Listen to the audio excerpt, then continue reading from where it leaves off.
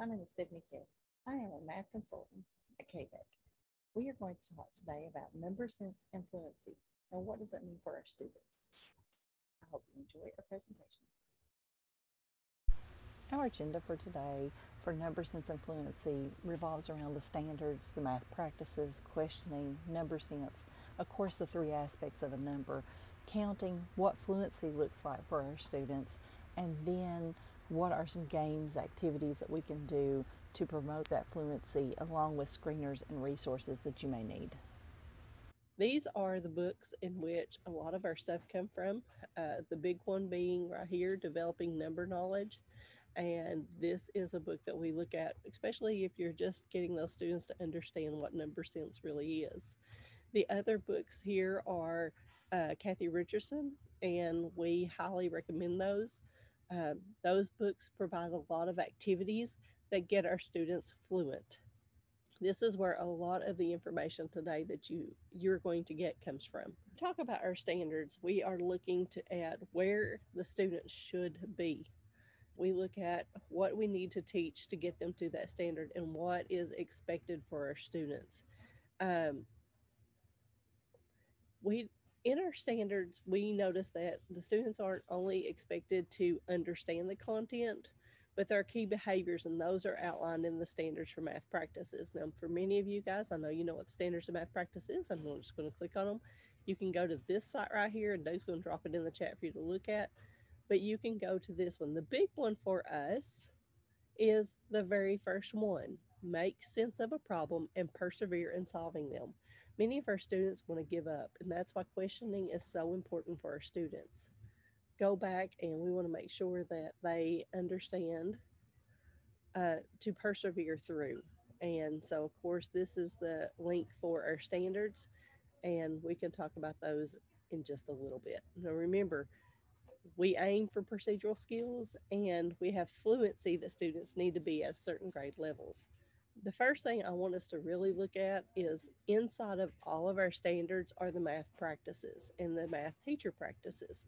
Now, I developed with uh, another colleague of mine um, this document here. And this is, I call it the questioning with the MTPs. This document is for you to use. Uh, it's got the math teaching practice, of course, establishing math goals to focus learning. And then it goes into talking about what the teacher does, what the student does, and then the questions that the teacher can ask themselves when you're developing lessons, and then questions you're going to want to ask the student. We also tied this in to connecting to the high leverage practices, the HLPs, and there's a little overview here for each one of the HLPs. And then again, we connected that one, the math teaching practice here, to all of the standards for math practices for the student. Again, the same thing here, implementing tasks to promote reasoning and problem solving. What the teacher does, what the student does, the questions that the teachers can ask themselves when you're planning a lesson, and then questions that you're going to ask your students the reason I put these questioning in there is sometimes we don't really think about the questions we can ask our students to kind of lead them into what they need to understand. We we want to know what they know and where they need to go. And so that's one of the things that I really wanted to put in here was that part. And then of course a connection to the HLPs. That's extremely important. So at your leisure today at some point, take time to look over this document. And I'm sure that Doug will be dropping that in.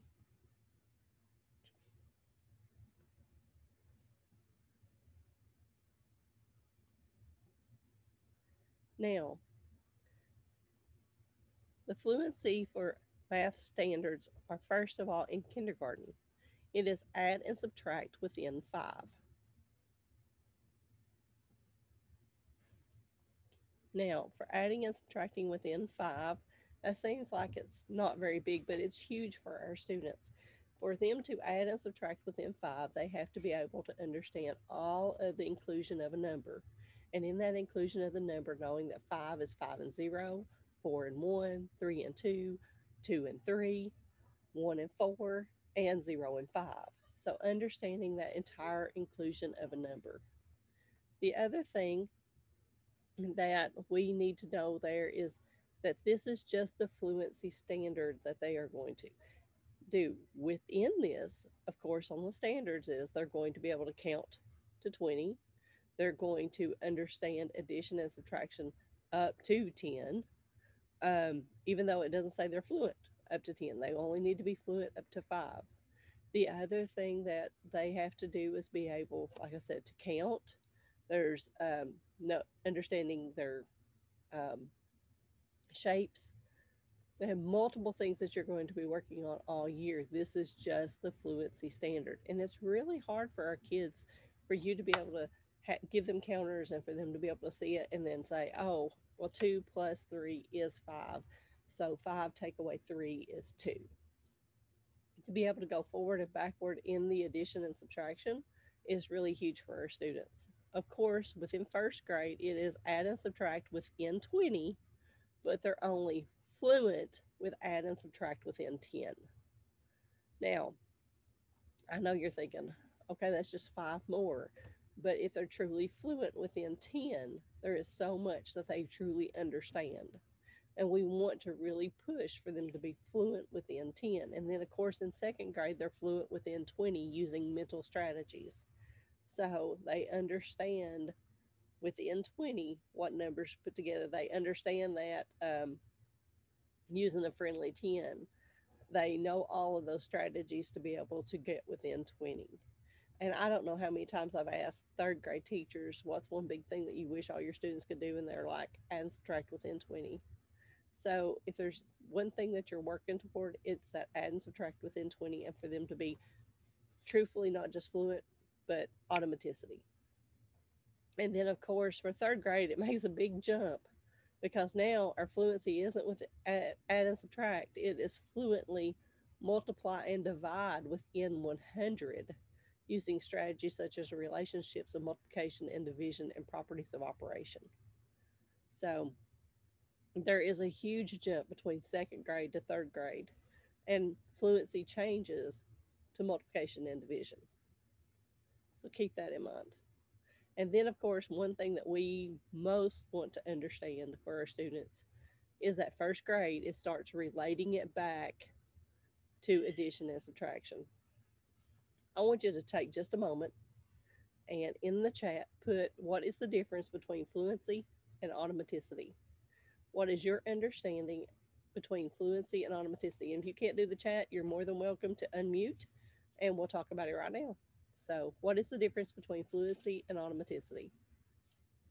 Fluency is being able to solve facts automatically. Well, fluency is being able to have a, a strategy to solve facts. Um, so they have that strategy and they understand automaticity is just like we talked about uh, up here earlier. It is about knowing without solving. It's just, I know it. Nine plus nine is 18. I didn't really have a strategy to that. I just know it. It's, it's automatic. It comes to the top of my head. For many of our students, they don't have automaticity, but they do have fluency. They have a strategy um, and a strategy that works for them. So, um, with fluency, we want our kids to have have a strategy.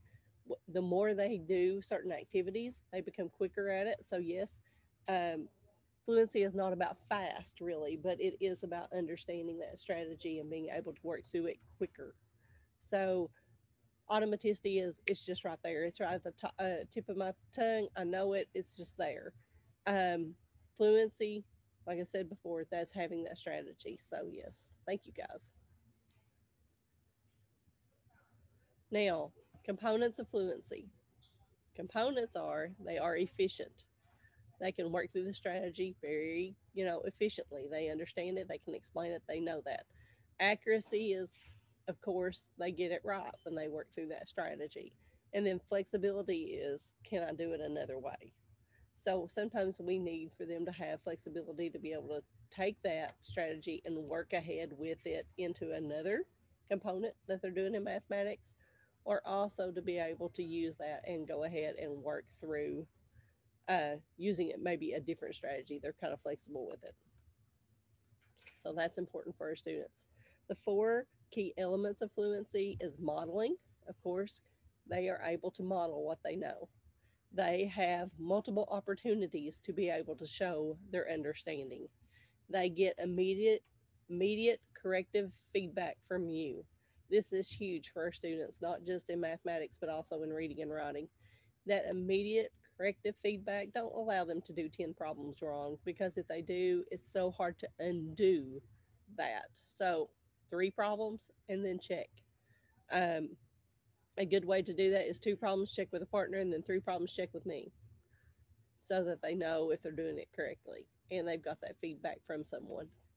Okay, and then of course, appropriate ratio of known to unknown problems when they're working through things. For our students not to feel like or want to give up and to persevere on through, having some of the problems that they know that they can move through rather quickly, and then some problems that they don't know so that they kind of have to struggle, this helps them too. Another thing that it does that allows them to pull from their long term memory and we want them to be able to do that. We want that retrieval so that they're pulling from it and they're using that information. So this is all again in that implementing an effective mathematics fact fluency practice. And this comes from Paul uh, Riccomini. So um, he's got some really good stuff for those things. But those are the four key elements that we make sure when we're working with fluency. Now, as you can see on the screen, these are some wonderful things that we use daily. We use these all the time. We want them to have a number chart. We want them to have the ability to use number bonds and 10 frames and five frames. We want them to use a balance so that they can see that equation the equal sign is truly a balance not just an equal sign and oh there's an answer that pops up at the other side of that number no it's a balance so that they can see how that works and it doesn't matter if you use a balance that has the numbers on it or if you use a balance like this one right here that has the teddy bears the one thing i would suggest is that you use two colors only that you don't give them all the colors of the teddy bears that you only use two colors and so they work within two colors counters. I love two sided counters. Uh, they're wonderful to use. A bead rack is perfect or a bead string. I am a big fan and component of the bead string. Now, Miss Bonda was a big fan and a component of the number cubes, and they're both wonderful. Sometimes we teach our students strategies that we are more comfortable with, but we have to also go outside of our uh, comfort zone and we have to teach our students using the things that they need to use so that they can become comfortable and reliant. Another thing is the sticks, the bundles and sticks. We want them to use those often, and this really helps them with addition and subtraction within a hundred. And of course, not just using one thing, because even though this is good, uh, the bundles and sticks is good for addition and subtraction within 100, so are our place value blocks. So keep that in mind they need to be able to transfer that knowledge within the concrete representations that they have. And then, of course, one of the easy but high effective uh, things that you can use are dice. Like I said, I love things that are easy to plan, easy to pull out and use, but yet are give me some high quality things to work with. So these are just a few. The other one up here is just plain cashier's tape. Now, a lot of places will give you their leftover rolls when they get down to just so much. They'll have these. Ask for them because if they'll gather them up and give them to you, then you've got perfect things for not only making number lines, but for fractions. When you're teaching fractions, those that's huge. I'm sorry. Mm, excuse me for a moment. Um, so making sure of those. Now, the three aspects of a number. What are the three aspects aspects of a number? One is verbal. Can they count? One, two, three, four, five, six, seven, eight, nine, ten. The next one is quantitative. Can they see five items in your hand and go, that's five. One, two, three, four, five. And they can actually do the one to one correspondence. And then, of course, the last one which is really abstract, is just the symbolic. The number five, seeing that and understanding that that falls back to the quantitative of five things, and then on to the verbal of five. So you want them to do all of that. Now, counting and cardinality, the progression in which we want them to have. We want them to be able to have number sequencing of one, two, three, four, five, six, seven. And then, of course, the one to one correspondence. I want them, they're going to sing song, of course, which is one, two, three, four, five, six, seven. But then I want them to be able to go and drop into, if they need to, with the one to one correspondence with a cup. And if you can see my screen here, one, two, three, four, five. They can hear it and they say it when it drops. That's one of the big things. And then being able to pour it out and look at it again in their hand and say, oh, that's five. Now that's huge because sometimes they'll pour it out and it'll be spread out and then go, oh, that's eight. And you're like, what do we just count? And then you do it again. So say, okay, let's count again. Ready? One, two, three, four, five. I pour it out. They see it spread out here in my hand. And they say, oh, that's five. And then you ask them, how did they know? Well, maybe they saw three and two. So that's some of the ways that I want them to be able to do that. Subitizing is basically being able just to see it and know it. They understand dot patterns. So let's put yourself in their shoes for just a few minutes. This is a new kid learning, so I want you to put yourself in their shoes. Start at the letter O and say the alphabet forward. Just take a minute in your head. O. That wasn't too hard, was it? You were able to do that pretty easily. Now, say the letter that comes right after J.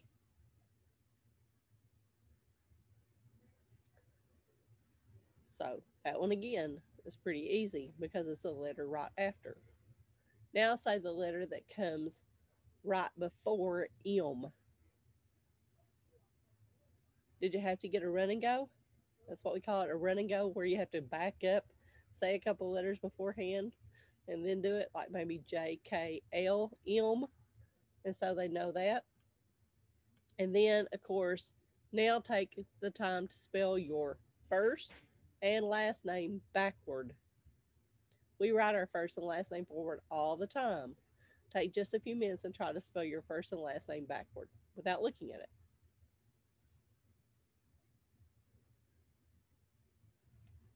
Was that hard for anyone?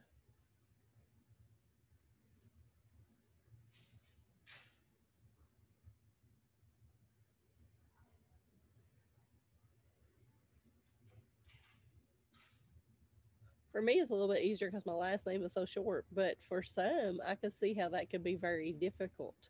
And think about how it is for our students when we ask them to do things like that. One of the things that we don't do is practice things backward very often. So, as a teacher, we have to get comfortable with if we're going to do it forward, we also need to do it backward because guess what? If we're doing addition, we should be doing subtraction. If we're doing multiplication, we should be doing division because they are related. And it's the same thing with if we're going to count forward, we need to be counting backward. Um, if we're going to skip count forward, we need to skip count backward because we're doing the addition part, but we're also doing the subtraction part. So keeping that in mind. So this is extremely important for our students. All right, then oh, Say the name of the fifth letter in the alphabet from S. Were you able to do that without a problem? Or did you have to go S T U B W X? Oh, it's X. I mean, did you have to do that? Because for some of us, we do. Countarounds. Now, this is important for our students. This is important for us to do every day. Countarounds should include course, addressing the verbal aspect. We can do counter rounds when we're lining up, when we're coming back from lunch, when we're going to lunch, when we're going to uh, outside for recess. Counter rounds can be done anytime that we're lining up. It can focus on problem areas. I was in a classroom where the teacher did counter rounds to change activities. And so that's a really good way to get counter rounds in. And it can focus on uh, problem areas. Counting by three, skip counting is one of the things we can do. It can focus on um, counting backward for our students. So forward number sequencing always first. And so if we do forward number sequencing, after that, we're going to, of course, do back number sequencing. And we want to make sure that they can do that. And then, of course, crossing the decades is so huge for our students to be able to cross the decade. Many of our kids will get to 10 and then they can't remember what 11 is, or they get to 20 and they can't do 21. Um, or they'll get uh, the best one is they get to 100 and then they're like, they don't know what comes next. Well, it's 101. So, and then, of course, making sure they're not saying and. Um, counting by twos, fives, tens, forwards, and backward. Keep that in mind. We always have to do both of those together. So if they're going to do it forward, they have to go backwards. So maybe today I start at um, 28 and I said we're going to go backward by twos. So 28, 26. And if we were sitting in a classroom right now or in a, uh, an, uh, a conference room, we would be actually doing this activity. I would have you count forward by twos and then we would count backward by twos, or we would do it by fives. And we don't always start at the same place. If I'm in second grade, sometimes I would count forward by twos, but we'd start at seven.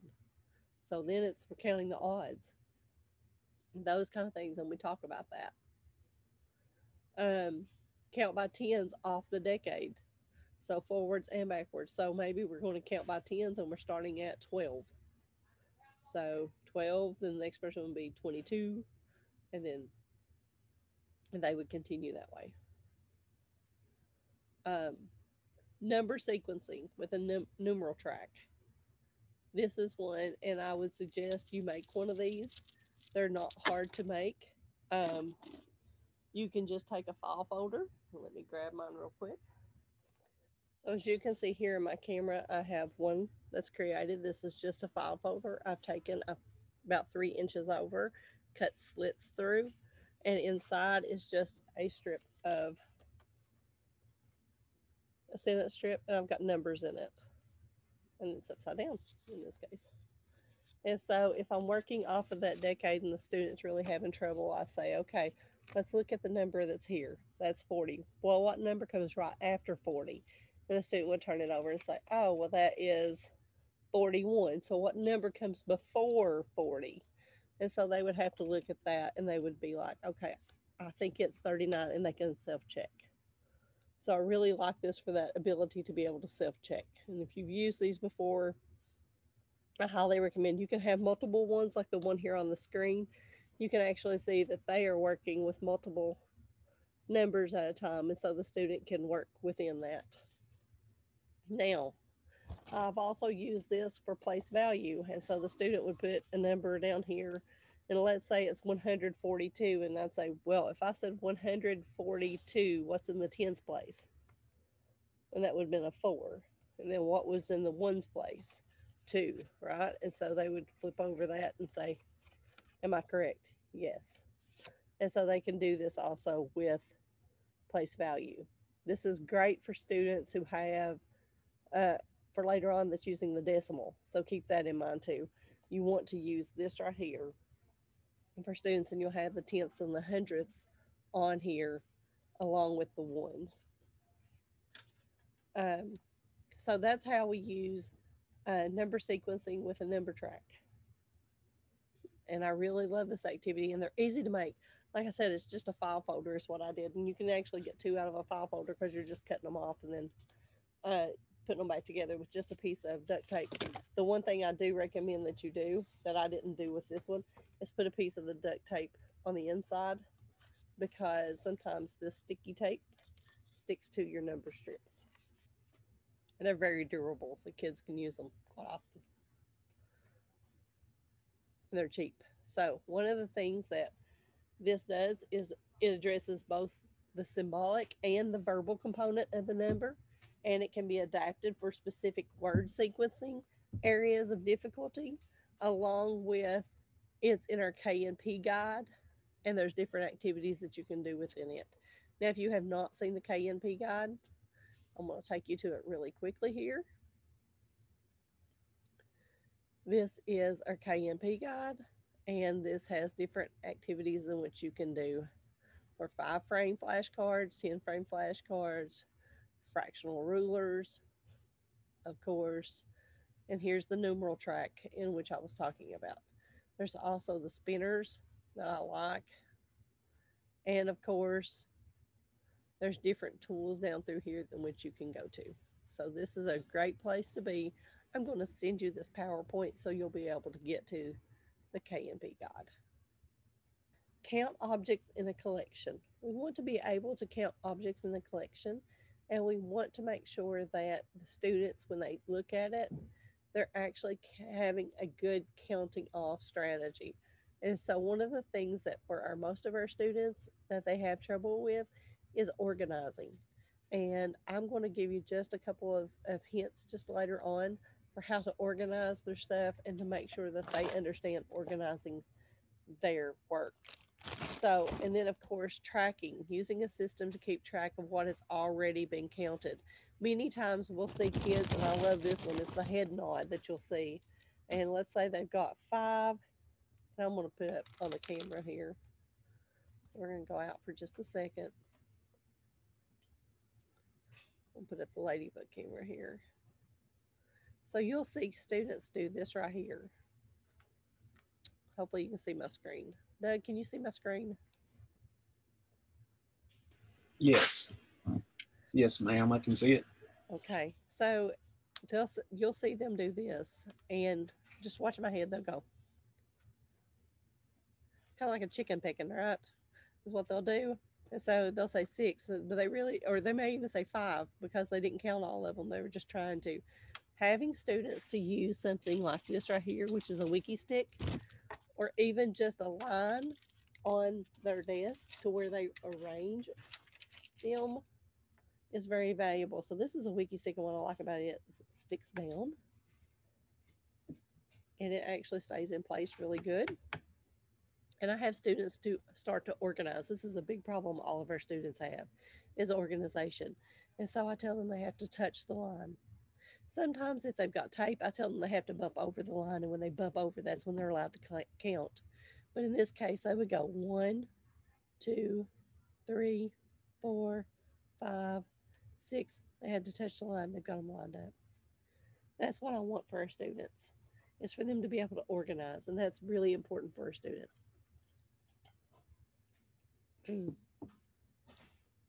so, uh, like I said, a wiki stick, a piece of tape, anything that you can help um, a sheet of paper where they organize to the top of it each time, or if you have, of course, your 10 frames. This allows them to organize too. At any point, they can organize to that. And so they put them on there. And of course, we want them to go across, but sometimes we have vertical learners and they go down. So don't be afraid if they're doing this right here. They're just, they just end up being a vertical learner and that's okay. And they'll say that they see it. And they may say, I see two, two, and two instead of three and two. And that's fine too. They, they have to develop their strategy. And when they develop that strategy, that's what's going to stick with them the most.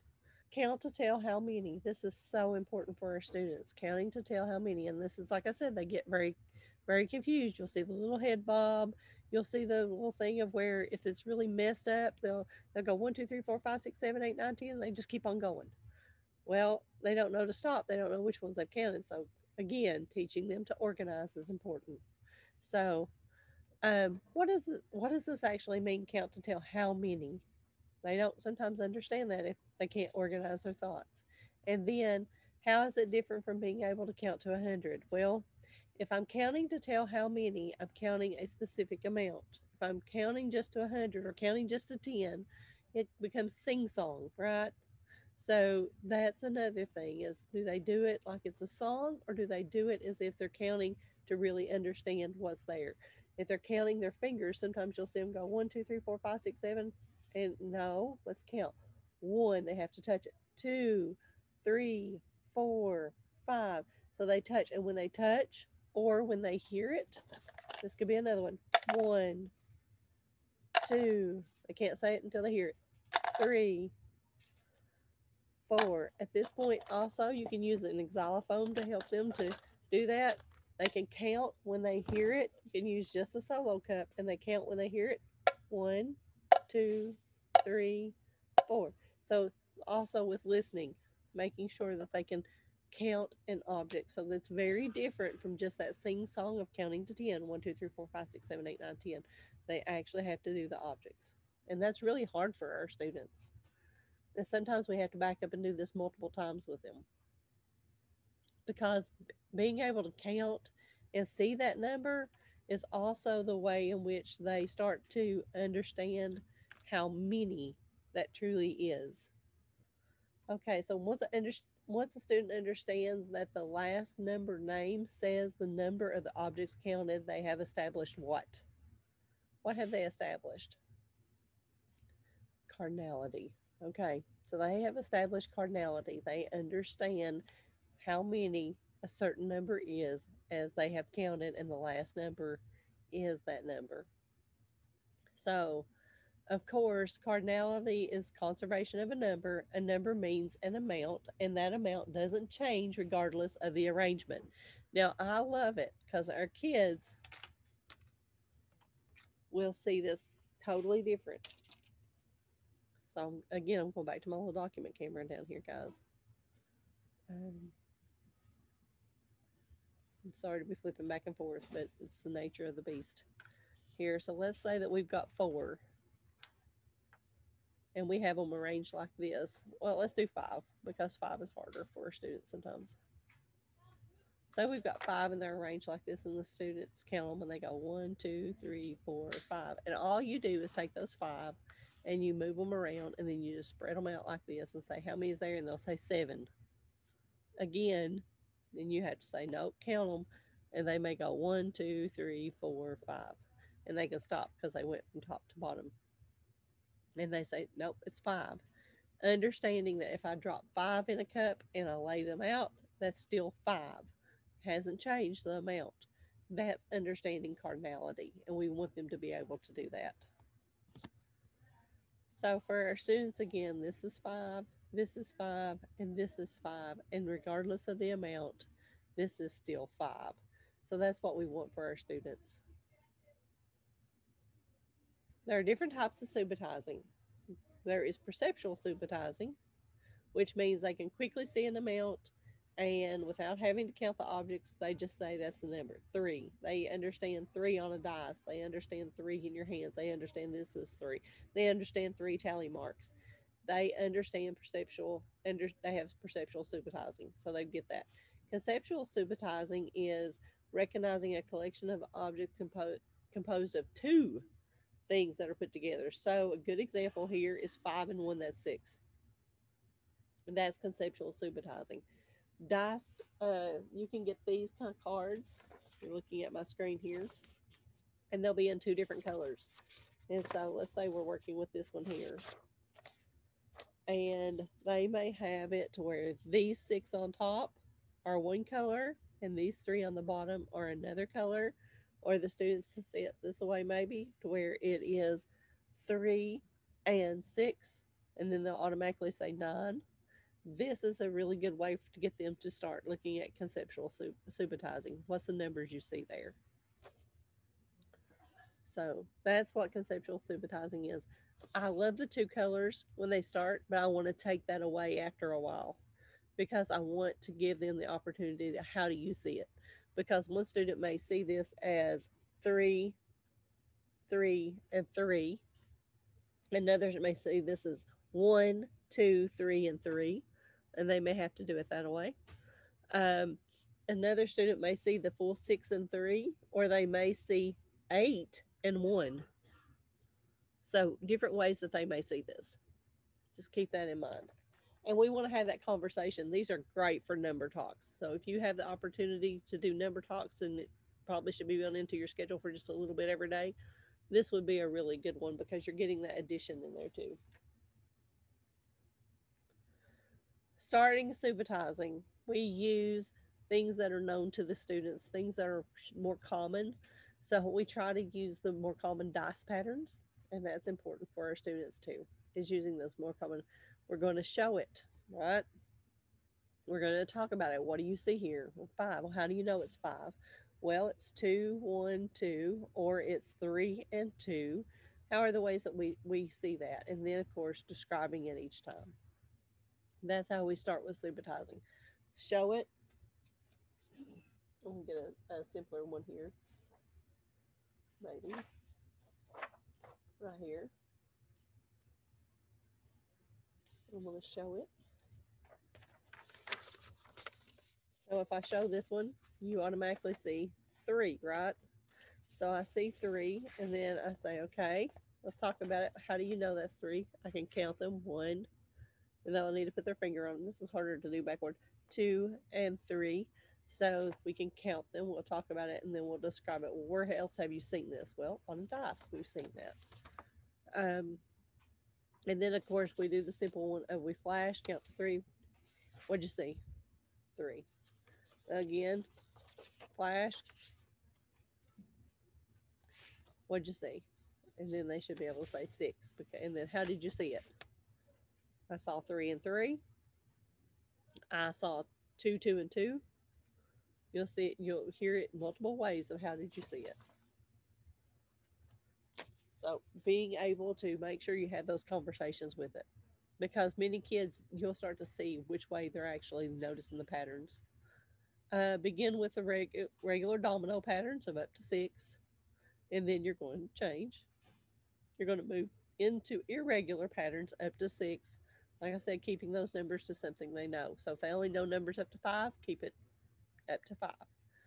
Um, if they only know it up to three, keep it to, in three, adding one more each time. Um, create component groupings using spacing and or color. Like I said, if I use color after a while, I take that color away because we want to just talk about what's what's there.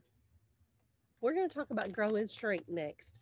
So with grow and shrink, it's a board that looks like this and it's inside of the the books for Kathy Richardson. And then I was trying to look and see if I can have my books here quickly for you to look at. But it's inside book two. Well, here it is, book one and book two. You'll find these games in there. They are um, on page, well, I've got them right here, page 33 and 35, 133 and 130 through 137. So we're going to talk about grow and shrink because this is like one of my favorites. So I want to show you the little board about doing this. So this is my grow and shrink board. And as you can see, it's set up very similar to a 10 frame. And so all that you need is a die. And so you get a die. And of course, you know, our wonderful cubes that we use. So that's really all you need. So here's my die. And now we are going to um, just roll the die and we're going to grow or shrink according to that. So we're going to work within six. But now you may change and have just a foam die that you've got numbers on and you want them to work within that. So in this case, we're working within six.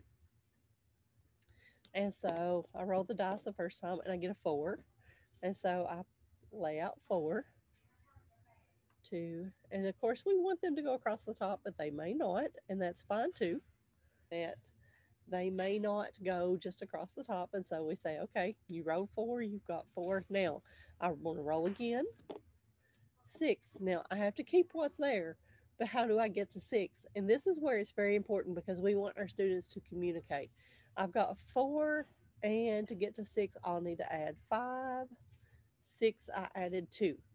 So at this point, they may not be able to do that. They may have to go one, two, three, four, five, six, and count up. They're not ready for starting at four and going on. Um, so they're going to need multiple exposures to doing that. and understanding that this is four, the next number is going to be five, the next number is going to be six. And then, of course, they're going to roll again. They get six. And I'm going to say, okay, how many do you have on the board? At this point, if the student don't remember, I've got six, or they can't see this, and the five and one is six, and they have to count them up. And you can say, well, I'm not adding any more, or I'm not taking any. You'll want, like I said, multiple exposures to be able to do that. This is why this is so important. So now they roll and they get one. And you can say, okay, so now what do I got to do to get to one? And the student can say, well, I'm going to take away or I'm going to remove. Um, and they'll need to tell you how many they're going to remove to get to one. So maybe one, two, three, four, five. I'm at one. And so you want them to have that communication over and over again of this is how many I'm going to add, this is how many I'm going to remove or take away and so that they have that conversation over and over again. This is a great one for students to play in pairs. It's a great one for students to play one on one with you, those kind of things, or in a small group. All right. So that's grow and shrink. Our next one that we were wanting to talk about, back to that one, was Creation Station. So with Creation Station, in your books, you will find these right here. These are awesome for our students. So what it is is we're going to take the dog. So this is a dog. They have to build the dog standing up. And you're going to say, how many cubes are you going to need to build the dog? One, two, three, four, five, six. So they need six cubes. So you can lay out six cubes. Now build the dog. So they need two for the dog to stand up on its legs, three for the body, and they have to look at it and say, okay, which way does the body need to go? And so there's that. And then one for the head, and the head's going to sit right here at the beginning of the body. And so does it look like that? Now, like I said, it needs to be standing up. At this point, if it took six to build one dog, how many would it take to build two dogs? And so the student would, again, build another dog, or they would say six and six more, that's 12. And so that's what you hope they get to. But of course, if not, like I said, six and six more, and they would build six more, and now it takes 12, and they would know that. Another good one, and there's different ones in here. There's the table. Um, there's the robot and the bench, as you can see. The caterpillar, which is an easy one for them, and I really like that one. The tree. The kids love building these and we talk about how many is in each one. What would, you know, if I have 12 uh, blocks, how many dogs can I build? If I had 18 blocks, how many dogs can I build? You can talk about that. Um, then, of course, the horse, the pig, the doorway, slide, and fireplace. These make great stations for the students to build, and you can have little cards that go with them. Say, if I have blank number of blocks, how many of how many slides can I build? How many would I have any left over? Those kind of things. So that they can do those. And then the last one is floor. Build a floor. And so again, you're using a dice. You're to roll the dice. One. Well, they're, they're building the one. And if, they roll a dice and they build four, they put them together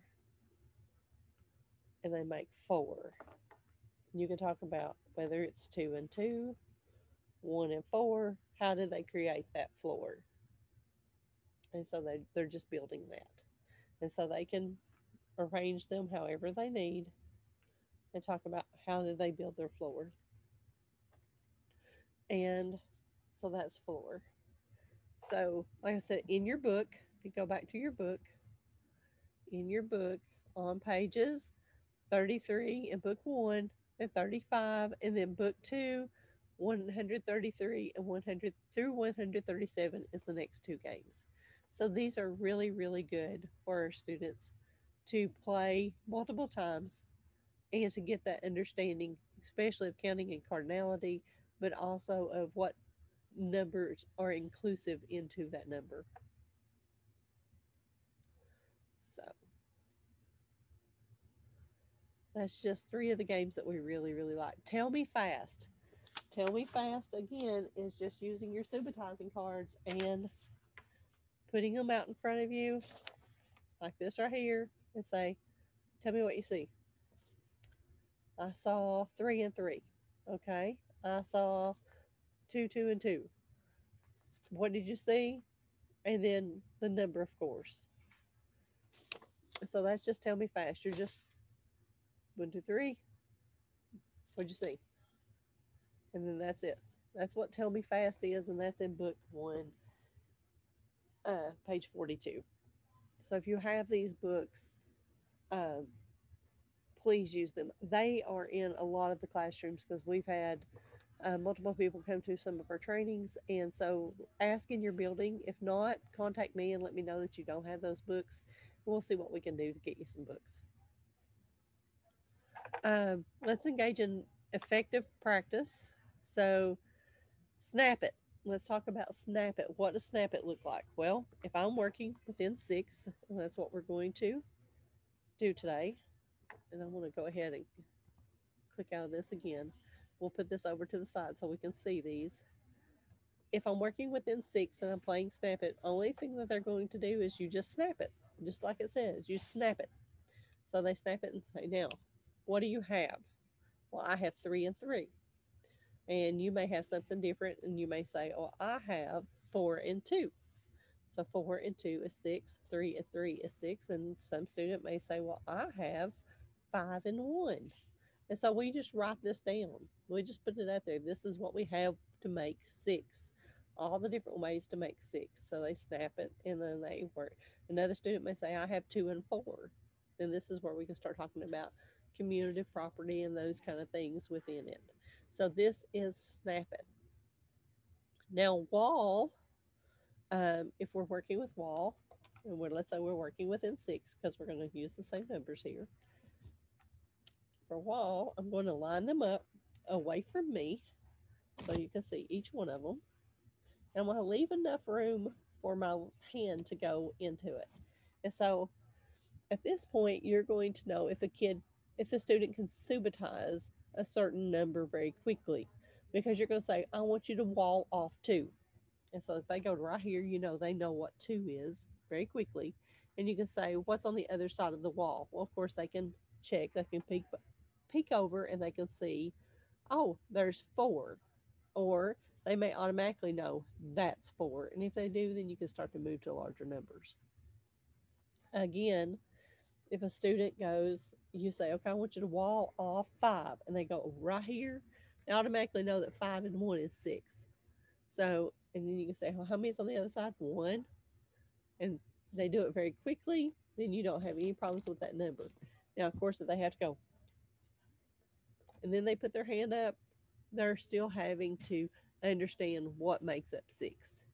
So you're going to work within this number for quite a while. All right, cave cave. This can be bats in a cave. It can be birds in the cave. It can be bears in the cave. But we put uh, six of these in. We turn it over. It's cave. And we say, okay, now pull out two. Cover it back up. I pulled out two. How many did we have total? Six. We pulled out two. How many is in here? Four. And then they count. They check. Now, if they say three, you're going to say, well, you might want to check that. One, two, three, four, and they can check. So, and I keep these separated enough to where they can check what did I pull out, what's underneath of here. So the number that I, I took from the cave was two. The number that's still in the cave is four. I've got six, and we do it again. Put them back in there. So now, take out of the cave three bats. So if I take three bats out of the cave, what was the total number in the cave? Six. I took three bats out. How many bats are left in the cave? If the student says three, then you know they're able to understand within six. Now, grab bag sounds just like that. In the book, it asks that you use a brown paper bag. Brown paper bags can be very noisy, and brown paper bags tear easy. That's the reason why we like solo cups. Solo cups are one, cheap. Number two, um, they are very durable for our kids, you know. So that's the other reason why. So of course, again, we have six in here. Grab bag is just that. We grab some out. So I grabbed out some. How many do I have? Three. So how many's in this uh, in your solo cup? Three. Okay. Easy way to check. And then of course they're going to record this too. We want to make sure they're recording it. That's a big thing about doing these is I also get the symbolic by recording their answers. So these are some of the games that are inside those books that we really, really like and we want you to use because they develop that fluency. It's doing it over and over again, developing the strategies in your mind, getting to the point of automaticity. But they've developed strategies. Now, split the pot is exactly what it sounds. Um, so a student has a container. This is for split the pot. So this is a little container that we got at the dollar store. And the reason why we chose to do a container is Eh, you can do a plate, but I suggest you have something that's kind of really thick there, like a piece of folded duct tape on the plate, to where these fall evenly on each side, to where they're not saying, well, that's partially on that side or partially on this side. I've we've done this before with just a sheet of paper that has a line drawn through it. And like I said, you still get those kids who are going to say this is on that side or this side. So again, for split the pot, it's just this. It's, it's a wonderful little container. They're going to choose one number. And again, I'm using six. And they're going to drop it. And you're going to say, okay, my number is six. How did I get that? Three and three. Try again. My number is six, two, and four. And so they're going to write two and four is six. My number is six. What'd I get? Oh, I got two and four again. Do it again. I got three and three. And then they're just going to keep on doing this two and four, or it can be four and two, two and four. They're going to do this multiple times. I'm to get a one and five. But as you can see, they're going to do this multiple times. So they're going to say six. So two and four, three and three, one and five, five and one. And you're going to do this multiple times to where they see the whole inclusion of a number. And I have them to record it. So this is a wonderful game for them to play also that allows them to get multiple exposures to a specific number and I use a number in which they're having some difficulty with. So if nine's the number they're having difficulty with, they'll use nine. You can also use counters. And so one, two, three, four, five, six. They put them in their cup. As you can see here, they put them in their cup. I've got them in my cup. They pour them out, and then they lay them out.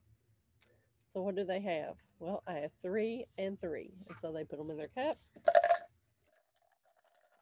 Take them up, pour them out. This time I have four and two. And so they can do this with counters. So that's another way that they can play split the pot. It's a great game for them to be able to do.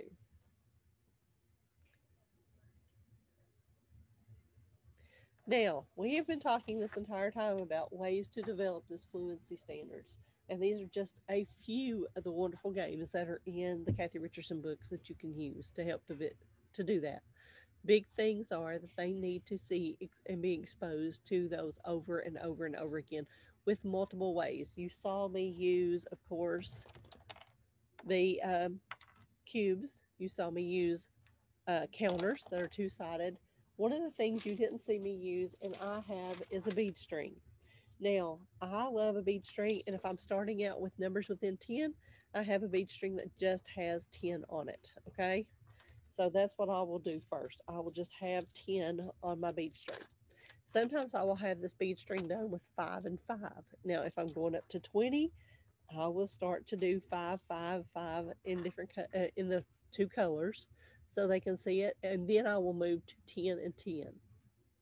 And the reason being is so that they can start to do this. And we will play with just numbers up to 20. We will just have this on the string. I will say, uh, pull down three. And then let's say they're working within 10. How many do you have left? And they should be able to say seven. Um, we can play a game of war with 20 on here. And I'll say, okay, I'm pulling off so many. If I've got, if I'm playing within a 100, and I'll say I've got 10 and 19. I've got 19 because I can't see the others because the other student has 19. How many do you have? And then they will be able to say, okay, uh, one would make 20. And so then how many do you have on the other side of that? And so they will be able to count and be able to see, oh, I have 70. Um, I have 81. I have 81 because you have 19. I have 81. And so we'll want them to be able to see and be able to count and be able to answer within, of course, 100. But, and that's one of the games that they can play. If we're only working within 20, I just want them to have 20 on the string and they're playing that. They can play with partners and that's a really good game. And they're going to record, of course, each one that they do. Uh, but again, our fluency standards, if they're in kindergarten, is within five. If it's first grade, within 10. If it's second grade, it's within 20, but they're adding them, subtracting within 100. And then, of course, if it's third grade, we start with multiplication within 100, but we want them to be able to add and subtract within a 1,000. Now, these are the games that, like we've said, we have played already to improve our fluency facts. We did uh, split the pot we did the grow and shrink board. We've done um, tell me fast activities. So those are just a few that you can do. Now, I want you right now to take a few minutes and write down a word problem that you use. Okay, so I'm going to just talk about these. Let's talk about how do we look at word problems. We look at word problems as result unknown, change unknown, start unknown, right? This is what we call an add to. We have take from, where we have the results unknown, the change is un- unknown, and the start is unknown. That's the case. Then we have put together and take from. Total unknown, both addends unknown, add addend unknown, so if we look at this right here, well, if I can get it going in the right direction, where does most of your problems lie? Let's just kind of look at that. Where does most of your problems lie? And so let's look at Denise. I'm not picking on you. I'm just going to start with yours, okay? Because you were first on my list. So Sarah has three apples. Now, is that the start is known, right? So we know the start is known. So we know it's not this one. Um, Johnny gives her two more apples. That's the change. The change is known. And how many apples does she have now? Sounds very similar to this. Let's go back. Sorry about that. Um, sounds very similar to this one right here. Two bunnies sat on the grass. Three more bunnies hopped there. How many bunnies are on the grass now. So that's a result unknown, right? That's where this one falls, and that is an add to. Now, in the same case of, okay, Denise has very similar, right? So again, she's in this top area here. Now, so she's got three add to two more, and this is how many she's got. So she's right here. Now, let's talk about Victoria's. I have 20 pins. If I give five pins to my friend, how many uh, pencils do I have left? So in this case, she's got 20. She gives five away. Of course, we've we've changed what we're talking about here, but it's pencils. Um, how many does she have left? We're back to result unknown. And then I'm going to go to uh, Desiree's down here. If Adam has three pencils and I and he gives one to Tommy, How many pencils does he have left? Again, it's result unknown. It's right here, right? Total unknown, right? Right through here. And then, of course, we have uh, Deanne's, who is Dana has seven grapes. She gets three more. How many grapes does she have now? They're right here. The problem is what we're seeing is everybody's doing this section here. But even in kindergarten, the questions that they get asked on the test are where? They're down here. So, do we have anybody who did one down here in this section right here? The compare. That's where they're at. Look at this one. Lucy has two apples. Julie has five apples. How many more apples does Lucy have than Julie? They're doing a compare. Most of the things on the test that they're going to be taking at the end of the year involve questions in this area of compare. We want them to be answering questions out of this area. So we need to be writing our questions more often from this area, especially right here, this addend unknown, both addends unknown, this smaller unknown, bigger unknown, difference unknown in a compare. That's what we want to do. We want to give them questions that fall in this area right through here. And Stephanie, is that true of the alternate assessment as well? Yes, unfortunately. Great, thank you. So keep in mind that when we're asking those questions, this is where you want to be looking at. And think about how I can teach my students to use this. A number line is a really good way for your alls that you were just giving me. If I was doing a number line, I could lay those out there, right? Without a problem. I'm going to look at this right here.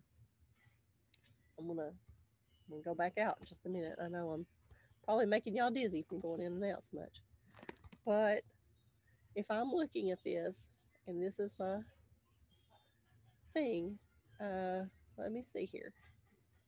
Let me look at her chat real quick. I'm gonna do just somebody's off the chat. Um, Lori did a, a really good one there for a compare, so that would be a good one. Um, but let's say Haley has six candies. So I can put down that she has six candies, right? One, two, three, four, five, and six. And I can say that she gives away three. Now we can go backward if she's going to give away three of them. So she gave away this one. I can, she gave away three of them. How many does she have left? And so they can see that she has three left, right? Or I can just take them away. She gave away three of them. Now, how many does she have left? We can see that. If they were drawing on this to show that, she has six. Let's say that she's here. She has six. She gives away three. Where is she now? I can see that very easily for my students. And they can use a number line or they can use a bar model, whichever one that you want, but you want to give them the ability to understand and use a a number line. Another thing that they can do is use a hundreds chart or just a 10, 10 frame chart. Doesn't matter. But as long as they've got that. And then they can say, okay, if I have six, that's where I'm going to start at, and I give three away. Teach them to use these strategies so that they have them. Okay, if I'm doing a compare, so Bobby has seven pairs. Okay, we know he has seven pairs. So I'm gonna go ahead and put them on the number line so that he can see them.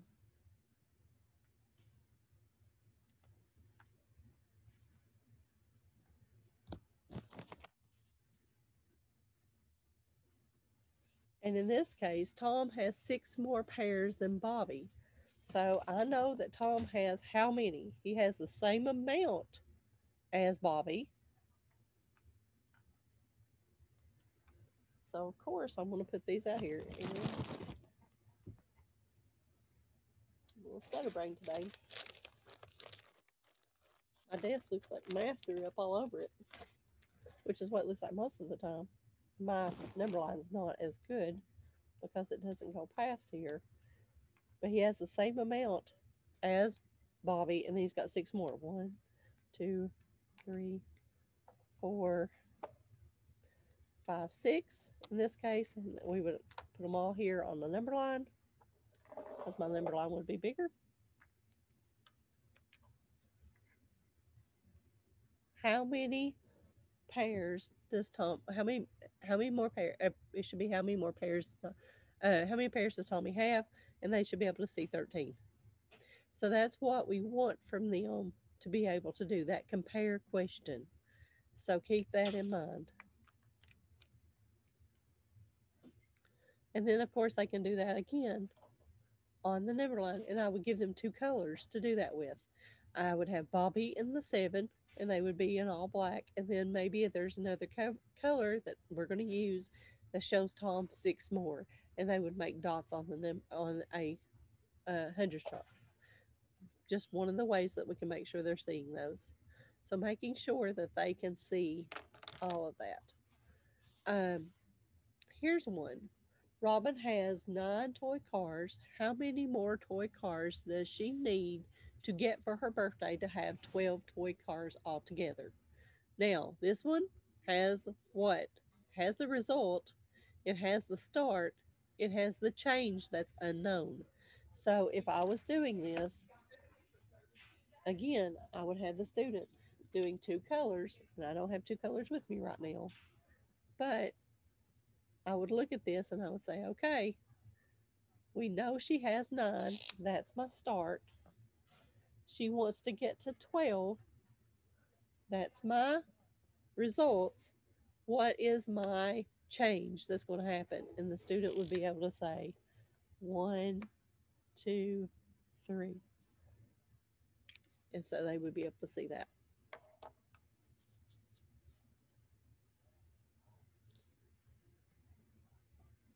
And you want to use that vocabulary too. Do you have your start? Do you have your change? Do you have your uh, results? So, those are the things that we want to talk to them about also.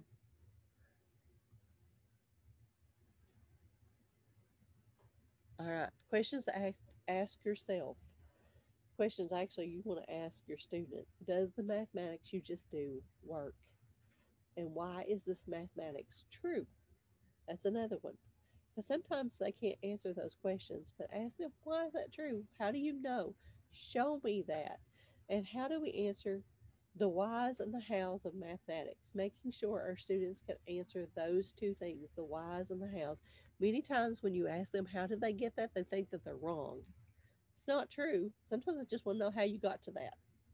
The more you ask them that question, many times the more they will start to say, okay, I'm probably right. I just need to explain it to her. It's not that I'm wrong. I just need to make sure I can explain it. This is important for our students, especially later when they get to open response questions and those kind of things that they need to be able to do. But also, if they can explain it, then they understand it. Okay, I am, and if anybody's ever worked with me, a big component of the CSA model. One, the Hattie's effect size for this is huge. We know that the CSA model is one of the biggest things that we can do for our students that's going to get the most bang for our bucks. So if we're going to do anything, we're going to start out with the concrete. And the concrete is the manipulatives that we're going to use. Now, you're going to want to have multiple manipulatives that you're going to be using, whether it's the bead string, whether it's the cubes and the counters and a number line. I mean, just having multiple ones because we want the students to be able to transfer that knowledge. I know I have had students myself that could not transfer from the teddy bear counters over to regular counters. They, it was like I was teaching a whole new subject just because I changed what they were using that day. But they need experience with different things. And we want them to be able to transfer that knowledge. And then, of course, anytime I'm doing the concrete, I'm going to have them to picture that image. they're going to start creating a mental image or they're going to draw that image. And I want them to be able to do that. I want them to have multiple exposures to where they're drawing that image. And I do this even with my kids who are in middle school. When we're working with negative and positive numbers, they're doing that. So I want them to be able to do that. And then, of course, they're going to do the abstract, which is the symbolic. They're going to have those things. We do not have to do this all together. I may start out with just the concrete and then I'll start adding in the semi concrete and then the abstract. But I want to make sure that they can at some point tie them all together. So this is our CSA mat. I am going to say this. Typical children, which probably none of us in here have, three times in the concrete, three times in the semi concrete, and at least two times to three times in the abstract. Now, I just said a typical student. So, your student who's a tier three or our students who are a special ed will need many more exposures to it. So, they may have to do it 15 times, even 20 times using the blocks and the counters and the number line. They may need that many times again with the semi concrete, and the number line is in the semi concrete. It's a way for them to draw it. And they may need that many more times again in the abstract. So, multiple exposures is what they're going to need. One of the things that I suggest if we're going to do this, and we're going to do it often, is the CSA mat. And if you do not have a copy of this, if you will send me an email at any point in time, I will gladly send you this copy. Um, and then you can use it at all times. And we would put the information, and the student would have that on there. They're able to do the concrete, then they're able to draw it out, and they're able to put the abstract in there at that point in time. Sometimes the teacher will write the abstract for them to do the rest of the parts. So there may be parts that you can fill in for them.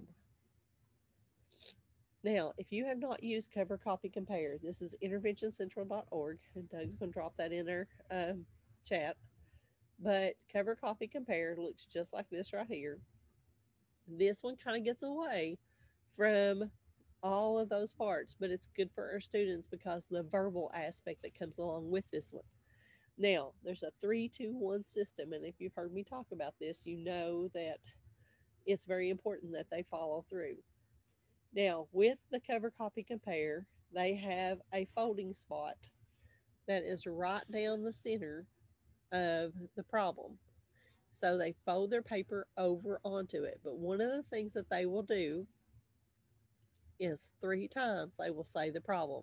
So if they're working, let's say they're working on their threes and multiplication, or even if they're working on addition, they're going to say that problem three times. So it would be 3 times 12 is 36. 3 times 12 is 36. 3 times 12 is 36. And so then they fold their paper and they write the whole problem down, not just the answer. They write 3 times 12 is 36. Now, they can't look at it. If they mess that up, they're going to come back to it. This is where um, 3, 2, 1. They're going to come back to it. They're going to check. 3 times 12 is 36. Well, if I wrote down 3 times 12 is 24, then they're going to come back and they're going to say, nope. And they're just going to draw a line through that one and they're going to do it all over again. 3 times 12 is 36. 3 times 12 is 36. 3 times 12 is 36. They're going to do that repeating. And then they're going to cover it up again, rewrite it, and check again. Now, hopefully this time it's correct. If not, they're going to move on down. You're going to notice on this paper, though, that I've got up here, and this is uh, Janina's, we are going to be doing 3 times 12 multiple times down through there. She's got 3 times 12. 1, 2, 3, 4, 5, 6 times down through there. That's one that she's really working on. So we want to make sure, and if you notice, it's got so many unknowns with so many knowns and so many that she's very fluent in. The reason be, I don't want to frustrate her. There is a fine line between frustration and learning sometimes. And so I want them to have things they are familiar with that makes it easier for them so that we do not frustrate them and they do persevere. They're more willing to work on it when they understand and know some of them. So keep that in mind when you're working with those kids. So Intervention Central has these worksheets. You go in, you just fill them out, and they go through them. This is a really good way to help our students with fluency also. Now, this is completely abstract and verbal only. So you're going to need multiple exposures with the other stuff before I get into this part. But I wanted you to have access to this. The salute game. How many of you have ever played the salute game? I know Doug has, but has anybody else played the salute game? Okay, we're going to play this game. And Melissa, I'm going to show you a card. And Doug, you're going to be my person who gives me the answer. Okay. I'm ready. So, Melissa, All you're right, gonna gotcha. see you're gonna see my card. Well, we're gonna try to do this. We're gonna see my card. You're gonna see my card, and I'm gonna see your card. And so you're gonna have to guess what your number is. Okay. So, Okay. Doug, I'm gonna quickly show you my both cards. Right. Quickly showing you both cards. Doug, what was the answer to those? The answer was nine. So if I'm going to salute and Melissa saluted, her card is not showing. I can't see my card, right? So she has to guess what her card is. Melissa, if the answer was nine, what's your answer that you've got on your head at this point in time? My answer is two. Your answer is two. So was mine seven? I think Oh, it's I may have got it wrong. It may have been eight. Oh, okay. Nope. All right. Nope. Melissa, what was your answer again? Two. He said it was nine. Look what I've got on my head. So tell you what you got on your head. No, no. Tell me what's on yours. If the answer is nine, let's think about that. The answer is nine. How many do I have on my head? So what would be on your head?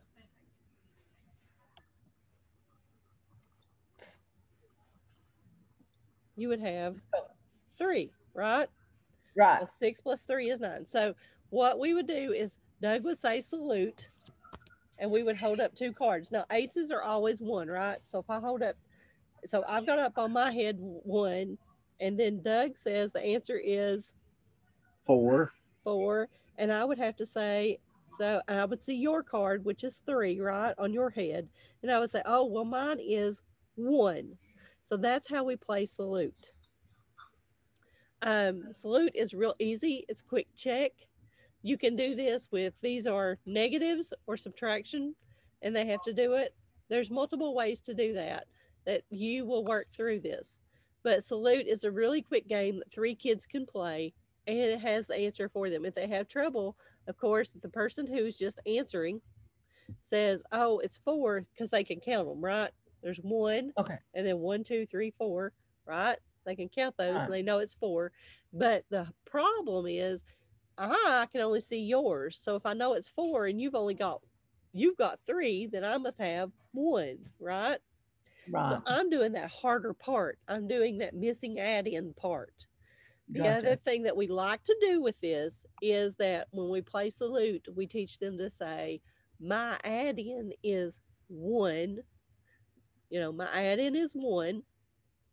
And then the person would say, your sum is four because they're adding them together. Gotcha. So the part that they're saying, we get that vocabulary in there because we miss so much with vocabulary sometimes with our kids, right? Gotcha. But think about vocabulary as when do they ever hear the word sum? They don't hear it out in public when they're out there, t- or they don't hear it from their parents. The only time they hear addend and sum and those kind of words are in math class. So we have our own vocabulary. We have our own foreign language, if you want to take it as far as that. But Um, I always say equals. I never say sum. I say equals. Equals. Yeah, equals. But the problem is they begin to see that equals as that's the answer that's coming, right? That's the Exactly. answer, not that it is a balance for them.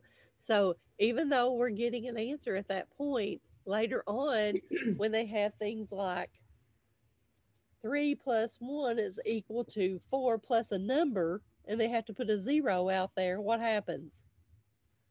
They just add them Mm. all together, right? Correct. That's what mine do.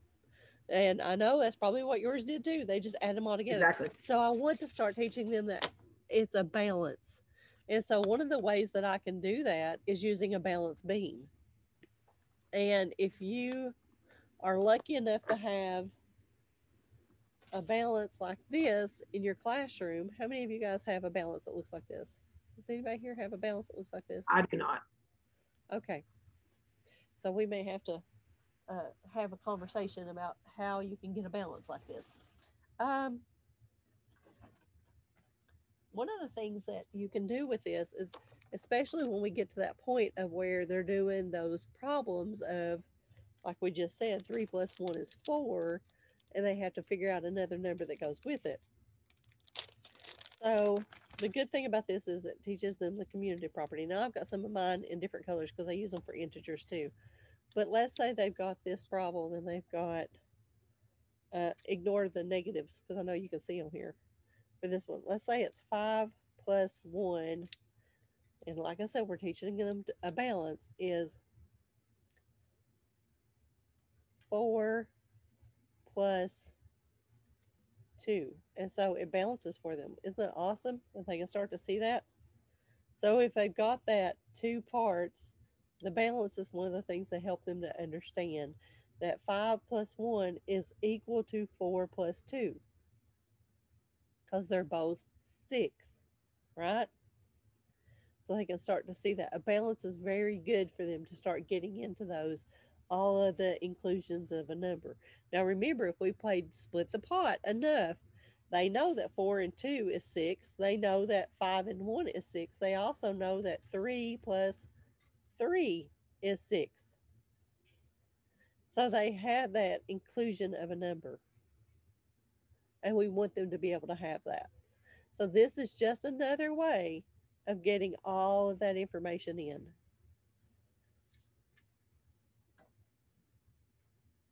I'm sorry, I sound so nasally, guys. I really am.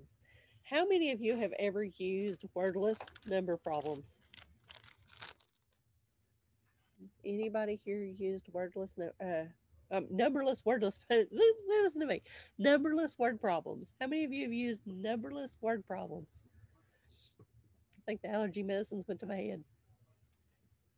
How many of you guys have used numberless word problems? Anybody? So with this, what you do is you, of course, select the word problem that you want, and you just remove all the numbers. You put the word some, a little bit more, uh, a little less, those kind of words back in there, and then you read through the problem and ask the child what they notice about the problem. This gets them thinking. One of the things that this does is it really helps them with understanding the process of a word problem. And I love this for that that purpose right there.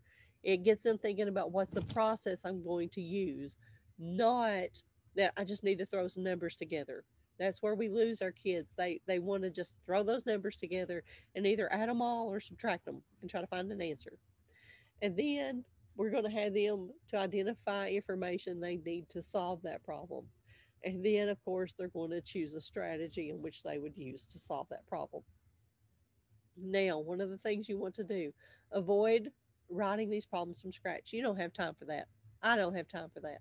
So you already probably have a bank of problems. Just use one of them, change some names, change the context out of it to something that's more real world for your students. And then later on, you're going to add the numbers back. So, and of course, big time is remove the question because that's that's huge for our students. So in this case, if I'm looking at this, it says Kim sees three bugs. Kim sees some bugs. Matt sees four bugs. Matt sees a few more bugs. How many bugs did they see? I would remove that one and I would ask my students. So Kim sees some bugs, Matt sees some more bugs, and I'd say, well, what kind, what what do we need to know? And then they would say, well, how many bugs did they see? And I was like, well, that could be a question, right? How many bugs did they see? And I'd say, how would you find that out? And they would say, well, I need to know how many. And so we would talk through that problem, that right there. And so would I add them together? Would I subtract them? how would I have that conversation? And I would go through and I would see how they would write that. So I'm going to give you just a minute, and in the chat, I want you to choose either. Well, let me go back. B, uh, B from first grade, or A from second grade, or B from second grade, and write this as a numberless word problem. So again, we're going to take out the question and you're just going to put some words in there for one of these. So taking that and in the chat, just go ahead real quickly, choose one of those and rewrite it. To talk about them. I'm glad to see that we have some people who have used the numberless word problems and some that have not. So this is a really good way to get our students started. But think about your students and how this would get them to thinking. Okay, we have one says Kyle got some new shirts for his birthday. If he already had some shirts, how many shirts does he have now? That's one. Oh, I'm liking these. Kim sees some bugs. Matt sees some more bugs than Kim. How many bugs could Matt have seen? That's good. Kyle got some new uh, new shirts on his birthday. He already had some. That's the one where we can, like I said, if we've left that question off, uh, like Nikki did there, then we can have them to ask that question. What's something we could get from this information? And now they're coming up with that question, and we would really want them to come up with that question. Um, and they may come up with some different ones than what we expect. So this is a really good one for us to do with our students and just get them thinking the process through for word problems. And I know that they're going to be like, well, what was the birthday gifts or um, what was the pet that they got? If you take out, you know, the fish and you just said, you know, at a pet shop and he got some, you know, fish and some other fish and you know, I love the fact that at this point I would take out the three packages of fish food because that's extra information that they would have. And we would talk about that when we got to, to the original problem about having information in that they don't need. That's huge for our students is when it has extra information because my kids would automatically see if I'm looking at the second grade A there, they would see 15, 7, and 3, and they would throw it all in there and say, I got 25. The first thing they'd do and you'd have to go back and talk to them about three packets of fish food. The question was, how many fish did he buy? Do I need that information of three packets of fish food? And so that's really huge for our students is understanding and being able to mark out the information that is extra that they don't need. So that's huge for a student. All right content scaffolding progression. How many of you guys have ever used content scaffolding progression? This is a a Rick, Rick uh, a Riccomini. This is a Paul Riccomini thing that he has done, and it's huge for our students. Um, and I love this because we start with the original problem and you scaffold that original word problem back. So getting our students to understand that scaffolding and scaffolding back into. So if I'm looking at the original problem, this is the full original problem down here. You can see where my cursor's at. And it's Robert planted an oak seedling. It grew 10 inches the first year. Every year after, it grew one and a fourth inches. How tall was the oak tree after nine years? Now, this is a typical fifth grade problem, and I know most of you are not fifth grade, but for our for our purposes, I wanted to use a, hard, a little harder problem. We're going to take that problem, and what I do is I basically take it and I just put it back in. I take out any useless information in the first. I'm sorry. I take out any useless information in the first that they may not need. I also take out names and those kind of things because I don't want that to be distracting my first problem is going to be heavily guided and it's going to include the answer. Okay. So if you notice from this problem here, which is the one with Robert in it, to my first problem, it says an oak seedling grew 10 inches in the first year, and every year after it grew one inch. After nine years, the oak tree was 18 inches tall.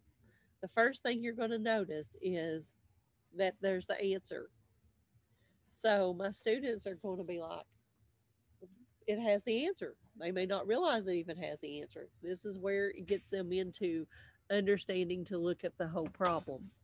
Now, one of the things that I would want for my students to do is I was talking to them, I want them to draw this out using either a number line or a bar graph.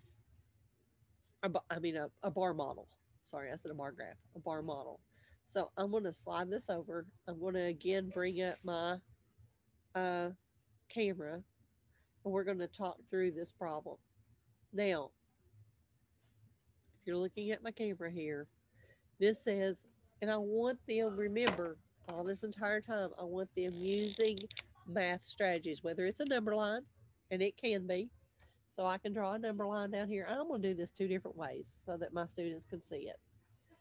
I would say, okay, let's talk talk about what's the start. What is the start in that problem? So the oak seedling grew 10 inches the first year. So 10 is going to be my start. So if this is zero, I know my first year it grew 10. Right? And we're going to talk about this is the start. And it can even be, if I'm doing a bar model, I can say, this is my bar model. My first year it grew 10, and I may put a one up there, right? This is my first year it grew 10. And then it's I'm going to say, and every year after it, it grew one inch, right? So every year it grew one. For how long? After nine years. So how many numbers am I going to have at the top here? Nine. So one, two, three, four, five, six, seven, eight, nine. And that should equal 18, right? Because that's how far, how much it was. After nine years, the tree was 18. So my ending should be 18. Now, again, two, three, four, five, six, seven, eight, nine. This is going to be 18. So, and then I'm going to go through here, and each one of these is going to be how much? One, right? One, one, one, one, one, one, one. Each year it grew one, and then it was at 18. So this total amount here was how much? Eight. And then again here, 11, 12, 13, 14, 15, 16, 17, 18. And they would do one, two, three, four, five, six, seven, eight, nine. And they would be able to see that after nine years, it is 18. And so we could talk through that one. And then I would move down to the second one and I would have the students to do the second one. And then I would lead part of that discussion saying, you know, what do we know? Well, the first year it was 25. So where's our start? 25. Every year after that, it grew five feet. So my group, my things are going to be what? Instead of just one, they're going to be five. And so, and then we're going to talk about that and having them to draw through it again and to model that so that they can see that. This would be a great one to do with Cuisenaire rods because they could get the 10 and then the ones after that and they can see how it, how it does. And then again, that would be the concrete moving into the semi-concrete at this point. So Cuisenaire rods would be a really good one to do with that.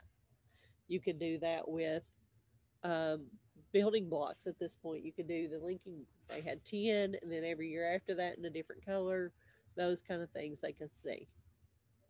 And then, of course, with the third one that they do, as you can notice back here in the third one, what do we do? What do we add to this? Well, of course, we added what? We added back in the question after seven years, how tall was the oak tree? Now we have the results at the end we don't know. So we have to figure that out. So now we've got the question back in. And then, of course, we could throw in either some information that is not needed, or we could throw in a fraction, whatever else needs to be done for the last one so that they can bring that back in. Of course, it's going to be something they've already worked on. So they've already worked on fractions. So we're throwing the fraction back in. It's going to be something that, you know, like that, that they've already worked on that I may, or like I said, information that's not needed so they know to mark it out and they can go on through the problem. I want to do this as a your turn, and we're also going to take a break with it because it's 1055. Uh, and just to give my voice a little bit of chance to do this, take some time to choose one or the other of those and write out and scaffold your problem back the same way that I did for the CSP. That way, the content scaffolding progression that you would teach this problem in. And think about that. Remember, the first two problems have the answer in it and not a question. So take just a few minutes. I hope you have time to change these over and do three problems. Remember, if we're doing the content scaffolding progression, which helps our students to basically start to understand what's being asked in a problem, what we're doing is with the first problem, we take out any other useless information that's there that they maybe have in the problem. Number two, we take out the question and we give an answer instead. Now, the other thing that we do, we do that for the first two problems. The third one, we add back just the question. And the third one, we can add back either information that they don't need to work the problem, or we can add in like fractions, or if they worked with decimals, maybe some decimals, or things like that back into the problem. So keep that in mind. Um, so that's what we've got for this one. Now, fluency standard, uh, fluency to 20 strategies that we're going to work with. We want to work with, of course, doubles. It seems like they understand doubles a little bit better than most, and it seems like one of the things that they can get. And then, of course, near doubles. So we look at six and six is 12. So six plus seven is six and six and one more and we talk to them about those kind of things. Um, so we work with the near doubles, and then of course we work with 10 plus a number. So 10 plus a number, and that's really hard sometimes for our students to get. So 10 plus 9 is 19. That's that's kind of hard for them to get. And then what, is 9 plus a number? Well, 9 plus a number is 10 plus that number subtracting 1. And then 8 plus a number, it's 10 plus that number subtracting 2. Or if they know 9 plus a number, then it's just subtracting 1 at that point in time. So those are the fluency standards to 20 that we really want to hit on. Uh, we use their doubles, their near doubles, 10 plus a number, 9 plus a number, and 8 plus a number. So keep in mind, these are some that we really want to do. Okay, we're not going to do, let's take a, t- uh, we're going to do the strategies. So common misconceptions when adding and subtracting. This is huge.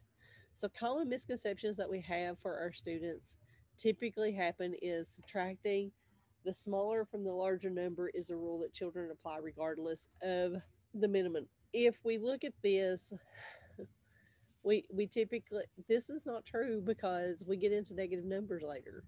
And so that's an issue. Not regrouping is another issue that they have that we see that they have.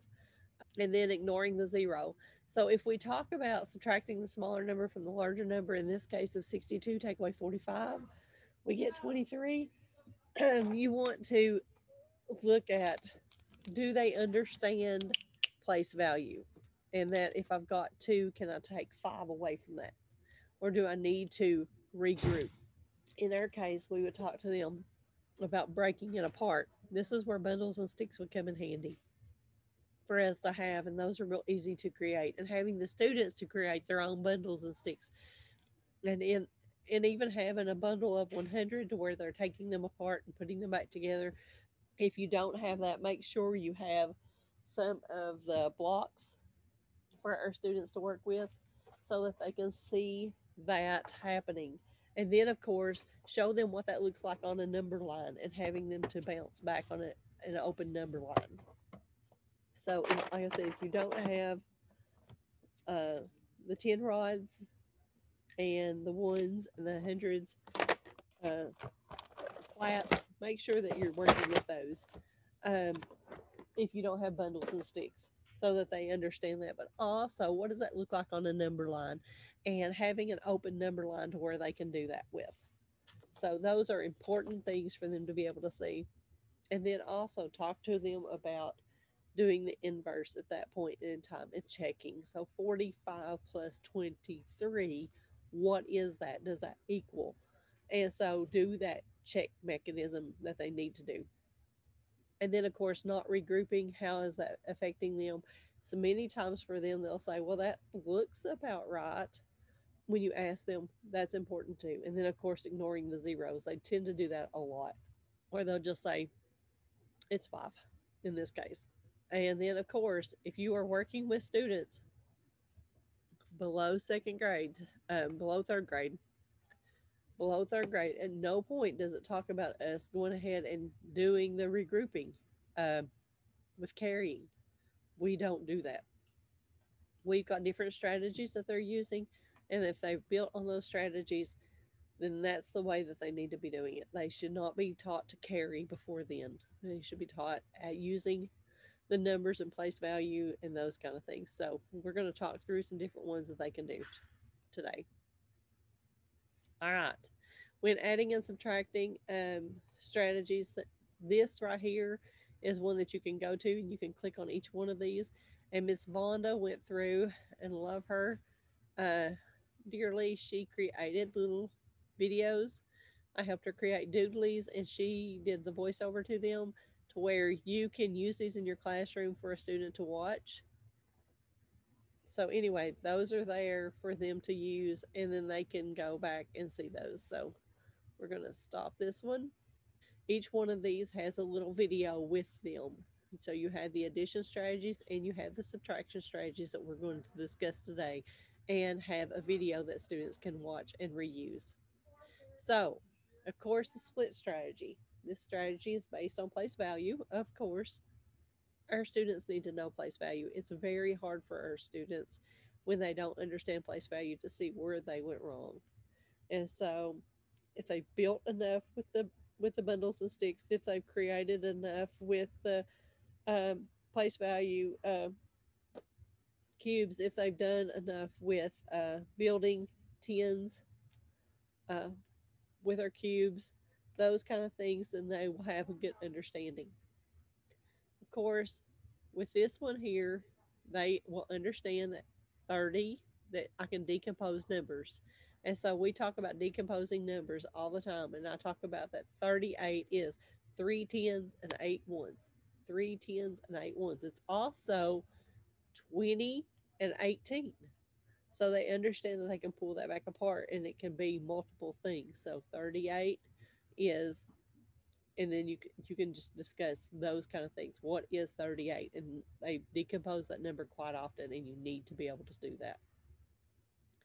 And so if they understand place value, that's 30 and 8 and 49 is 40 and 9, then at that point they quickly understand that 30 plus 40 is 70 and that 8 and 9 is 17 and I can pull that one over again, very similar to regrouping that one group of 10 over that adds to my 80. Now it's 87.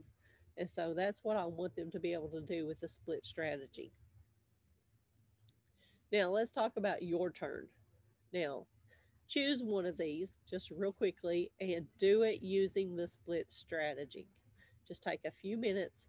Uh, actually, I'll give you about a minute and a half to do it. And then I'm going to show you on our mat how that we did each one of those just to make sure you have an example.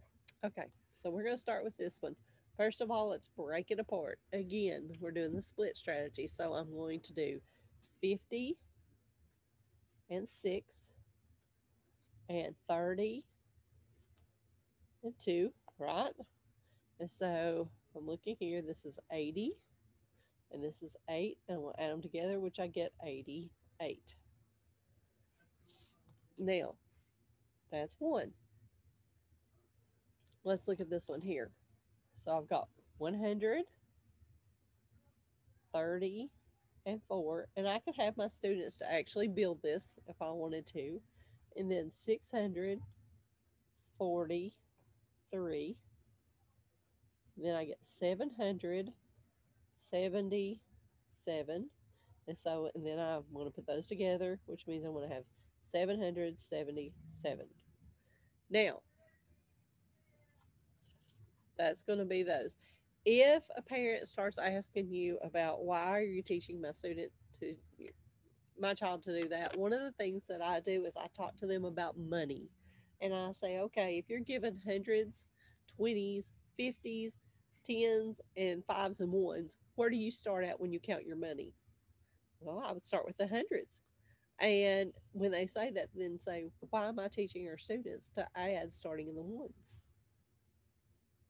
So, talk to them about how place value is so important for our students and how we are teaching our students to truly see in mathematics place value and the importance of place value. And so, that's one of them that we can do. Let's look at the next one here. So that was your turn. The jump strategy. Now this is with a number line. Guys, I'm going to apologize, but I have to drink. My voice just goes. So with this number line on this one, as we can see, we have 38 plus 49. And we are starting with the larger number. Now they can start with 38 and then they can build on 49. That's fine. But in this case, we say 49 and then we add 10, we add 10, we add 10. So we have the 30 out of the way. Now we've broken this down into friendly tens. And now, if I can decompose a number, which is the 8, and I know that I need one more to get to 80, and then that seven more is going to make my 8, which goes to 87. That's what I really want my students to be able to see. Now, some of them may not be able to do that, but we talk to them all the time about how to decompose what's inside of 8. Well, 7 and 1, 6 and 2, and then how am I going to get to my friendly 10? And so we're going to work through that with another problem just real quick on the next one. So look at this one. And I want you to think about the jump strategy I just showed you. So I'm talking about the jump strategy that I just showed you, taking that one into consideration, we're going to take the bigger problem down there. We're going to take the 132 plus 54 and we're going to do the jump strategy with that one. Okay. So again, I'm going back. We're going to look at this. So when here's 132 plus 54. If I'm doing that one on a number line, this is 132. I need to do 54. I know that's one, two, three, four, five tens. So this is add 10, add 10, add 10 that I need to do. And I'm going to say that takes care of my 50, right? So this is 142, 152, 162, 172, 182, and now I need four. Now, most of my kids can probably just do add four more, and that's going to be 186. They're probably going to be able to do that. If not, and they need to do this, it's perfectly fine because they may say, okay, I'm going to add four. And at this point, they may need to do this right here. One, two, three, four. And this is add one, add one, add one, add one. And they may do 183, 184, 185, 186. And if they have to do that, that's fine. If that's what they need to do. So that is one way that we can do the jump strategy. Now, let's go ahead and move on, for lack of time here, to partial sums. Now, with partial sums, it's a little different. I like to do color coding with this to start out with. Now, color coding is important for our students sometimes because I use two colors and I'll just circle the sims they're talking about and write the color in. So, a good example that I may do, I'm going to just use a sheet of paper for this. Let's see if I have a just a blank sheet of paper. I do right here. Okay.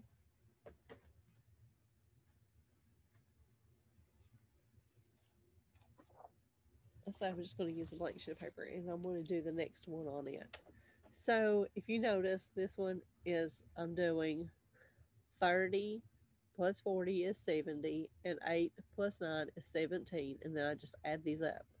Now, this is when they get a little farther down and you're not using maybe the jump strategy or those kind of things. And this one, 100 plus 500 is 600. They need to know place value really well. 30 plus 50 is 80. 6 plus 3 is 9. And then they just add up. This is so much easier for students to understand and to be able to do. So let's do, and then of course, partial sum expanded notation is this way where they do 500 plus 30 plus 3, 300 plus 20 plus 7. This is easier for our students to see if they expand those numbers out and then to add them up at the end. That's an easy one for them to do. So let's do this one here. Like I said, I like using different colors so that my students have a little bit better understanding if they need it. But if I'm doing 327 plus 488, and let's say that I'm wanting to do that one. Well,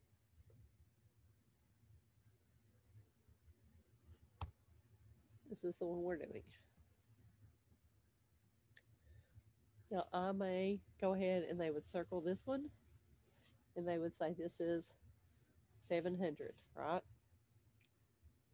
And then maybe they know that 20 and 80 is 100. And then they know, and they may even use a different color, that 8 and 7 is 15. Do you see how the color coding can help with this? And then at this point, they would just say it's 15 and that's 800. And so we can have that conversation about color coding and those kind of things because that may be part of their SDI that they need is color coding in in with the strategies that you're working with.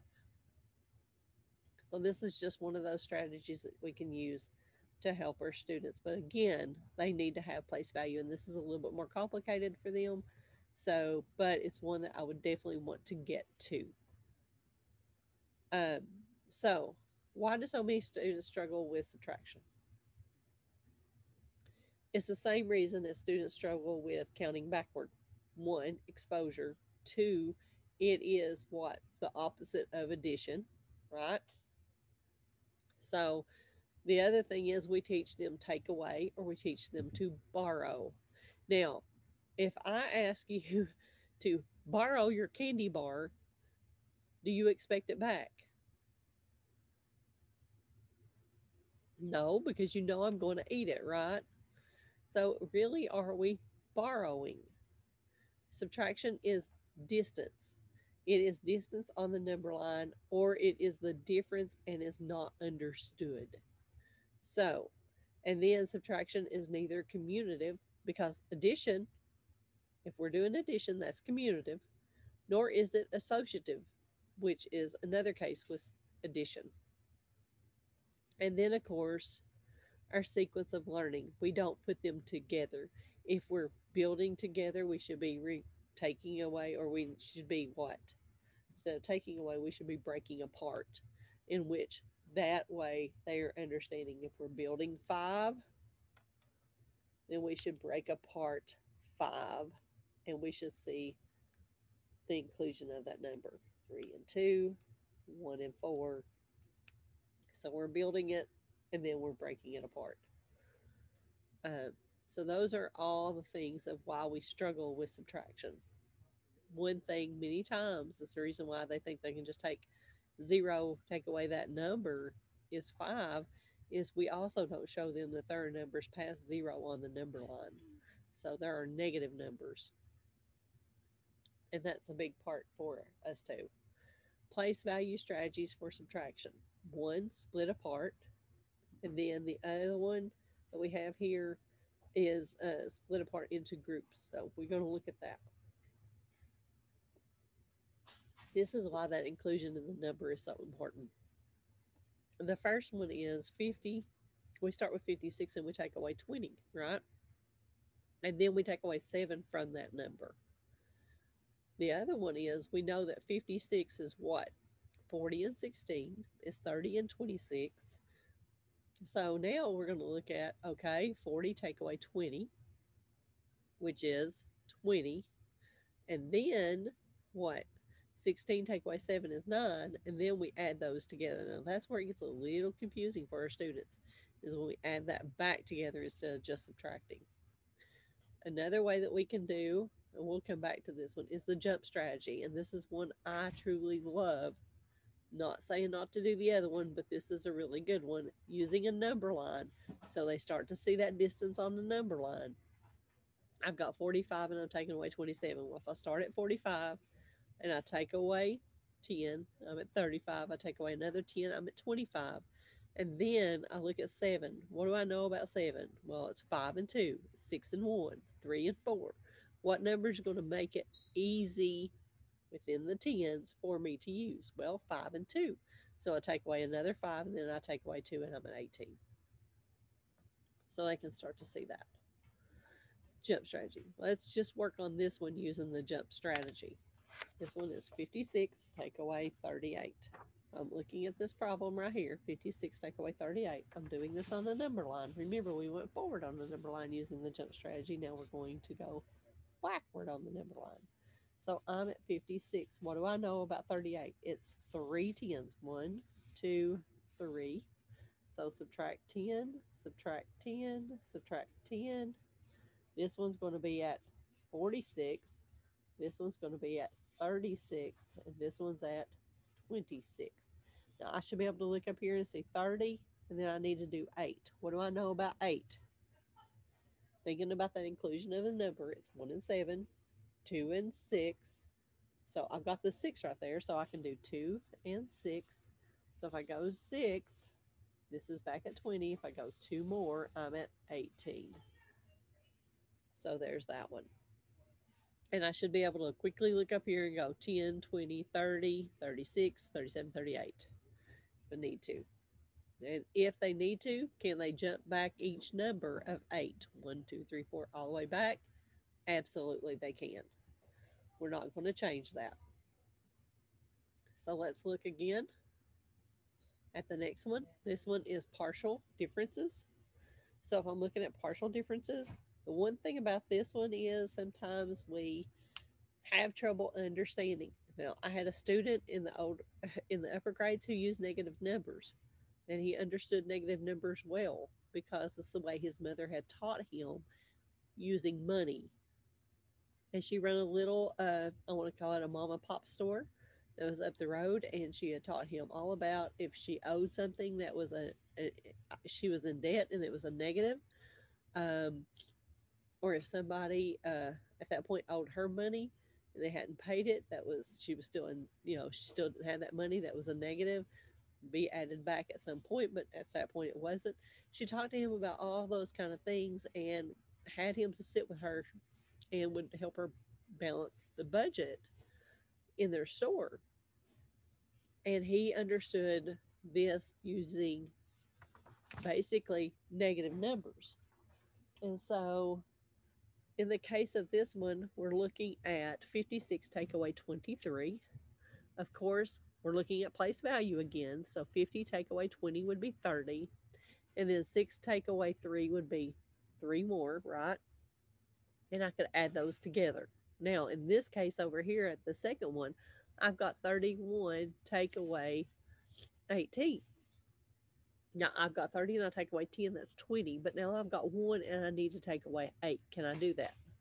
If I'm thinking the way my student did, I've got one, but I, I, I have one dollar, but I owe you eight dollars. I'm seven dollars in debt, right? So it's going to be a subtract seven. So now that's going to be 20 take away seven. This is really hard sometimes for our students to see unless we're talking about money. So this is another way that we can do this. So let's just kind of walk through one real quick. Um, this one talks about change one or both numbers and subtract then compensate. That's compensation. Adding by compensation. If we did that one and then subtract back off, that's another way. But I want us to go through and do just this one right here using that understanding with the subtraction. So 75 take away 38. So we're going to go over and we're going to use that one and we're going to walk through that one. So again, I want you to think about negative numbers or again, think about in debt. So if I've got $70 or $75 and I'm going to take away 38, if I'm looking at this right here, 70 take away 30, that's 40. Now I've got five, I got five dollars, but I owe eight. So that's going to be a negative three. I'm still three dollars in debt. If I remove that, that's $37 that I have. So this is what it's like for compensation. Again, it may be a little harder for your students to use. You may want to use the jump strategy for a while and then turn around and use this strategy beside of it so the students can see what's happening. And then transformation, this is changing both numbers while preserving the results. And in this case, we add 2 to 58. We take 2 from 27. So if we're, taking, we're adding to one, we're taking from the other. And then we maintain the quantity of the entire problem. And that's 60 plus 25, which equals 85. That's really hard for our students sometimes. Adding by transforming, we add 1 to both numbers, keeping the distance on the number line the same. So we're making a friendly 10 in this case. So it's 57 take away 30 equals 27. That's another strategy that our kids can use. Understanding that subtraction is big time distance on the number line. And so we're not going to do a, we really don't have time to do a your turn on that one. So adding tens, of course, this one is uh, kind of hard. So if you're adding tens to one, you're taking tens from the other. And so looking how to do that and keeping that distance on the number line the same. So transformation strategy using used to avoid regrouping. One of the things that I did for my students is if they were all zeros on the top, because most of my students would not be able to go back through and would not be able to take away, I told them to just take one from both of them. Now it turned it into 599 I mean, 5,099, 999. And it changed the bottom to 3,641. I just changed it by one, did not change the distance on the number line. And we would do this with smaller numbers to get them started so they would be able to see this. And they were able to do it. If I wanted to get that bottom number to a friendly 10, what does it take to get 28 to a friendly 10? 30, I'm adding two. I'm going to add two to the top number. This, of course, is a your turn. And again, you would subtract one from the top, you'd subtract one from the bottom. The top would be now 4,999. The bottom number would now be 2,656. They would be able to subtract with no problem. That's what this problem is about. Now, I want to kind of talk to you about time test and what does time test look like for our students. First of all, I'm not a fan of them because they really give me the jitters. Um, time test makes my brain go, Wah! and then I can't really do anything. I can't remember things, right? So if it does that to me, I can imagine what it does to my students who get frustrated sometimes with time test. So time tests are the beginnings to math anxiety for about one third of our students time test prompts many students to turn away from math. I can't do it. I just go stop. I mean, I'm never going to get all these problems completed. One, for my kids who struggle with just being able to organize, if I see time test and it's got, let's say, 60 problems on there, I completely stop. My kids did better with cards and understanding. Uh, uh I just flip over a card and do that next problem, just do that next problem. They were fine with that. I'm not never saying don't give time tests. I'm just saying make them very infrequent. Time test pushes the brain to survival mode. Now, Doug's got a good thing that he does with survival mode, and if I've got it all together, my brain's like this, right? And I can't exactly do it as good as Doug, but basically what happens is when all of my senses are out and I'm in survival mode, everything's going kind of wild, right? And if I'm in survival mode and I, everything's just on end and my brain's just going ah like this, guess what? I'm not able to do. I'm not able to reason. I'm not able to think. I'm very emotional at this point. So I'm probably going to blurt out. I'm going to maybe say things. I'm probably going to do things that I don't, I, I typically wouldn't do because my brain is just like wide open, right? I'm at that point of flight or fight. And that's what happens with our students. And then sadly, speed and test driven classrooms may lead students to uh, who are slow, deep thinkers to just not even try, that they think they can't be good at math. And so that is very true for a lot of our students. They get that complex. And, you know, I hear parents say all the time, well, I wasn't good at math either. Well, I'm sorry, it's not a genetic gene. Truthfully, what it is, is the fact that, you know, you've said that too, and your student may think it now. But the fact of the matter is, there's an anxiety there for mathematics. It's not understanding, not having those skills that they need. So keep that in mind when you're doing a lot of time tests and those kind of things that those kids who need to really think or have time to think may not be thinking because they are already their little brains are going wide open at this point in their survival mode and they can't they've already been overloaded. And it's too much. And so you're not getting good results. And then of course math facts are a smaller part of mathematics and probably uh, uh, and probably the less interesting part because most of the time after this our students are going to have to truly reason math facts are important. We want them to have automaticity with math facts, but we want them to also understand reasoning. That's the reason why I put I kind of put that content scaffolding uh, progression in there. I put the numberless word problems in there because they need to be able to reason through the mathematics. And then last but not least, um, they need access by strategy. And then, of course, um, occasionally they're good for diagnostic purposes. We want them to be able to, uh, we want to know how well they can do within a certain amount of time because that helps us also to know if they need extended time in comparison to their peers. And then, of course, um, consider limiting the time of the assessments, how much time they get on things, and you just take it up. And it's not taken up as a grade so, per se, but just to see where you're at.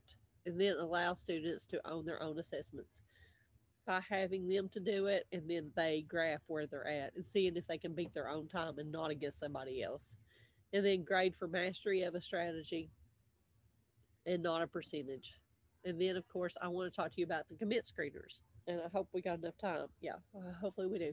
The commit screeners, you can find those Going to go through there. Here are all the commit screeners. You can download them. When you download them, I'm going to go to the second grade one here. You're going to go here. You're going to click on your downloads. You're going to get the PDF version. This is what you need. These are all the cards you need for second grade. All right, that's all the cards you're going to need. So you clicked on that. Let me go back. Um, so if you click on this right here, you can view it. I said, these are the cards for first grade. Let's go back. This is the screener, so you can view that. This is a screener. What I like about this is it gives you exactly what you need to say. So stop count, uh, start counting from one, and I'll tell you when to stop. And then at 22, you're going to tell them to stop, and they're going to count. Then you just mark it. Were they able to count to 10? Were they able to count 11 through 22 correctly? And so at this point, they were unsuccessful from 1 to 10, and you just mark where they were at. What is one more than six? You're just talking them through it, and then can they correctly give you one more than six? Um, one of the things that I did out from here and on down here, I think it gives you the option of where they were able to Not on this one, it's on second grade. But it tells you what cards to put in front of them. The cards are available to you. This gives you a good understanding of where your students are at, basically. So you can give it, there's three times a year for these that you can give them, which really helps. And I talked about vocabulary, granite vocabulary cards. I want you to see these. These are vocabulary cards that you can use on your walls. So you can just go ahead and download the list. Tells you what they are. I like these because it's got the word. This could make a great matching game. It's got the word and it's got something, a visual, right? Two plus three is five. And then it's got the definition along with the visual. So you could actually cut these up and this could be a great matching card. So to combine, put together two or more quantities. And then addend. These are addends. Any number being added.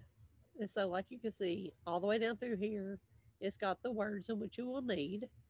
And it's got the definition. So if you were putting this word up analog clock, here's what an analog clock looks like. This is a clock that shows time by positioning of an hour and minute hand. So as you can see, it's got some really good things for vocabulary. It's got all the things that you really need.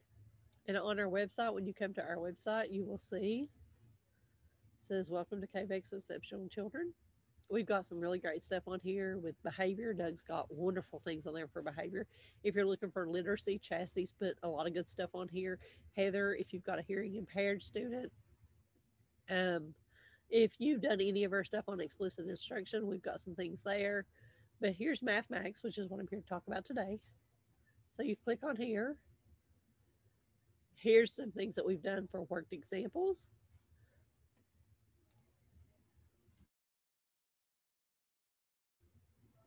Sorry about that. Addition and subtraction, if you go under that one, we've got different things that are on there, different videos and resources that you can go to.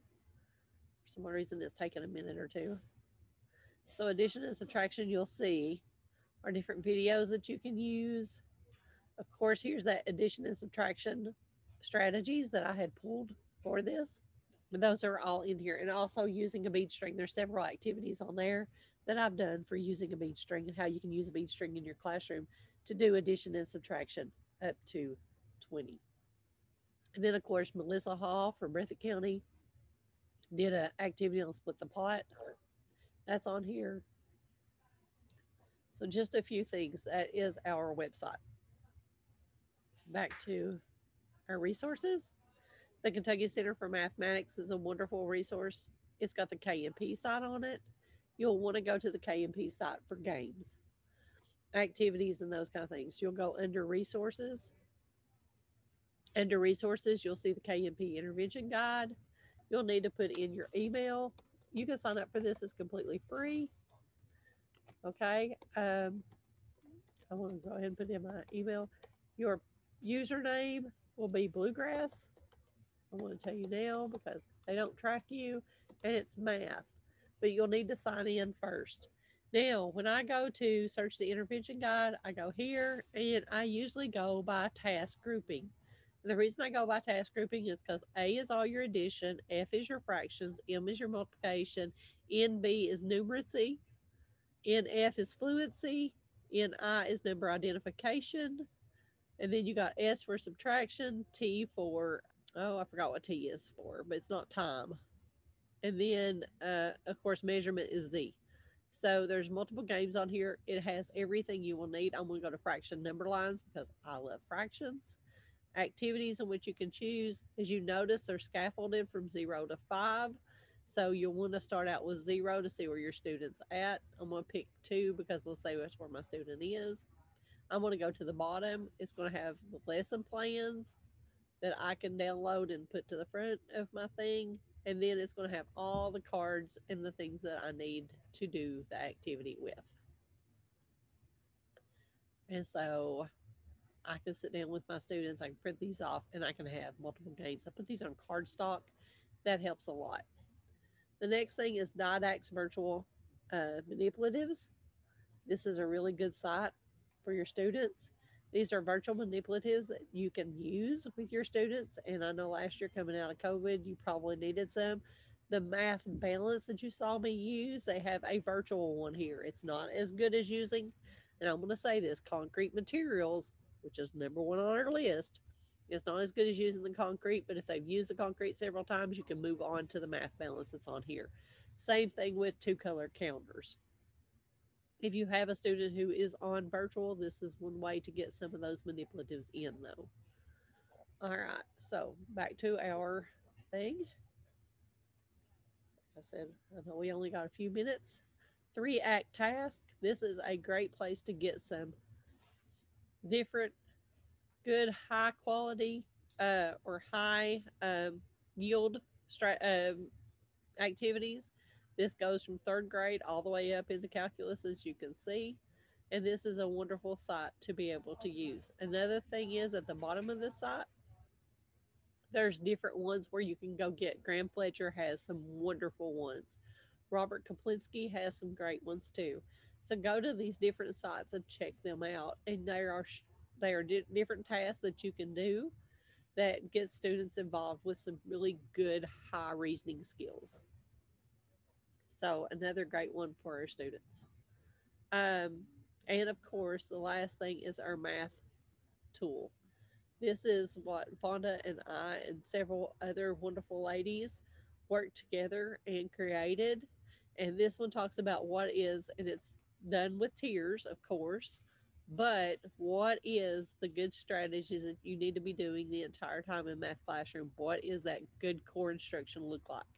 And then, of course, for tier one and tier three. Now, for us as special ed teachers, what we're going to look at is the evidence based practices that are down through here. And we even put in what was Hattie's effect size for each one of these. So, use of manipulatives just by themselves is 0.5 and it's got some different ones on here. Kathy Richardson games and strategies. Of course, repetitive corrective feedback 0.79. So again, like I talked about earlier, giving that feedback two or three problems at the most and making sure I'm correcting them quickly. So if your student has a problem, the problem or concern that they have, if it's something down through here, these are the things that you can use for that student to help them to correct the problem in which they're having. And then, of course, for us, anytime we're doing anything, we need to have the evidence that that student has done those things and then collect the data to say yes or no, that worked. And so these are the ways that you can do that. So, this is just one of the things. If you notice, if your student has trouble with math, math calculation, these may be the areas in which they have. This is not an exhaustive list it's being worked on all the time and added to. So you'll want to keep that in mind also. Okay. And if there's something that you say, hey, you need to add to your toolkit, if you'll send it my way, I will definitely get in here and change the toolkit because it's it's published to the web and it's constantly changing. So keep that in mind. And then so the way we set it up was math calculations at the top, math reasoning, and then any areas that fall under just mathematics in general is next. And then, of course, like I said, anything that's blue is hyperlinked to somewhere else where you can get even more materials. So, and at the end, if you want to dive deeper, of course, we've got screeners and assessments that you may want to look at. We've got additional resources that you can go to.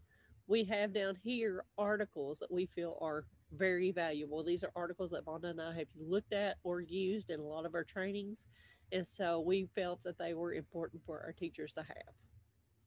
And of course, anytime we do anything with our special ed, we put the IEP and lesson plan development handbook in there. So this is just a few of the different ones that we've done.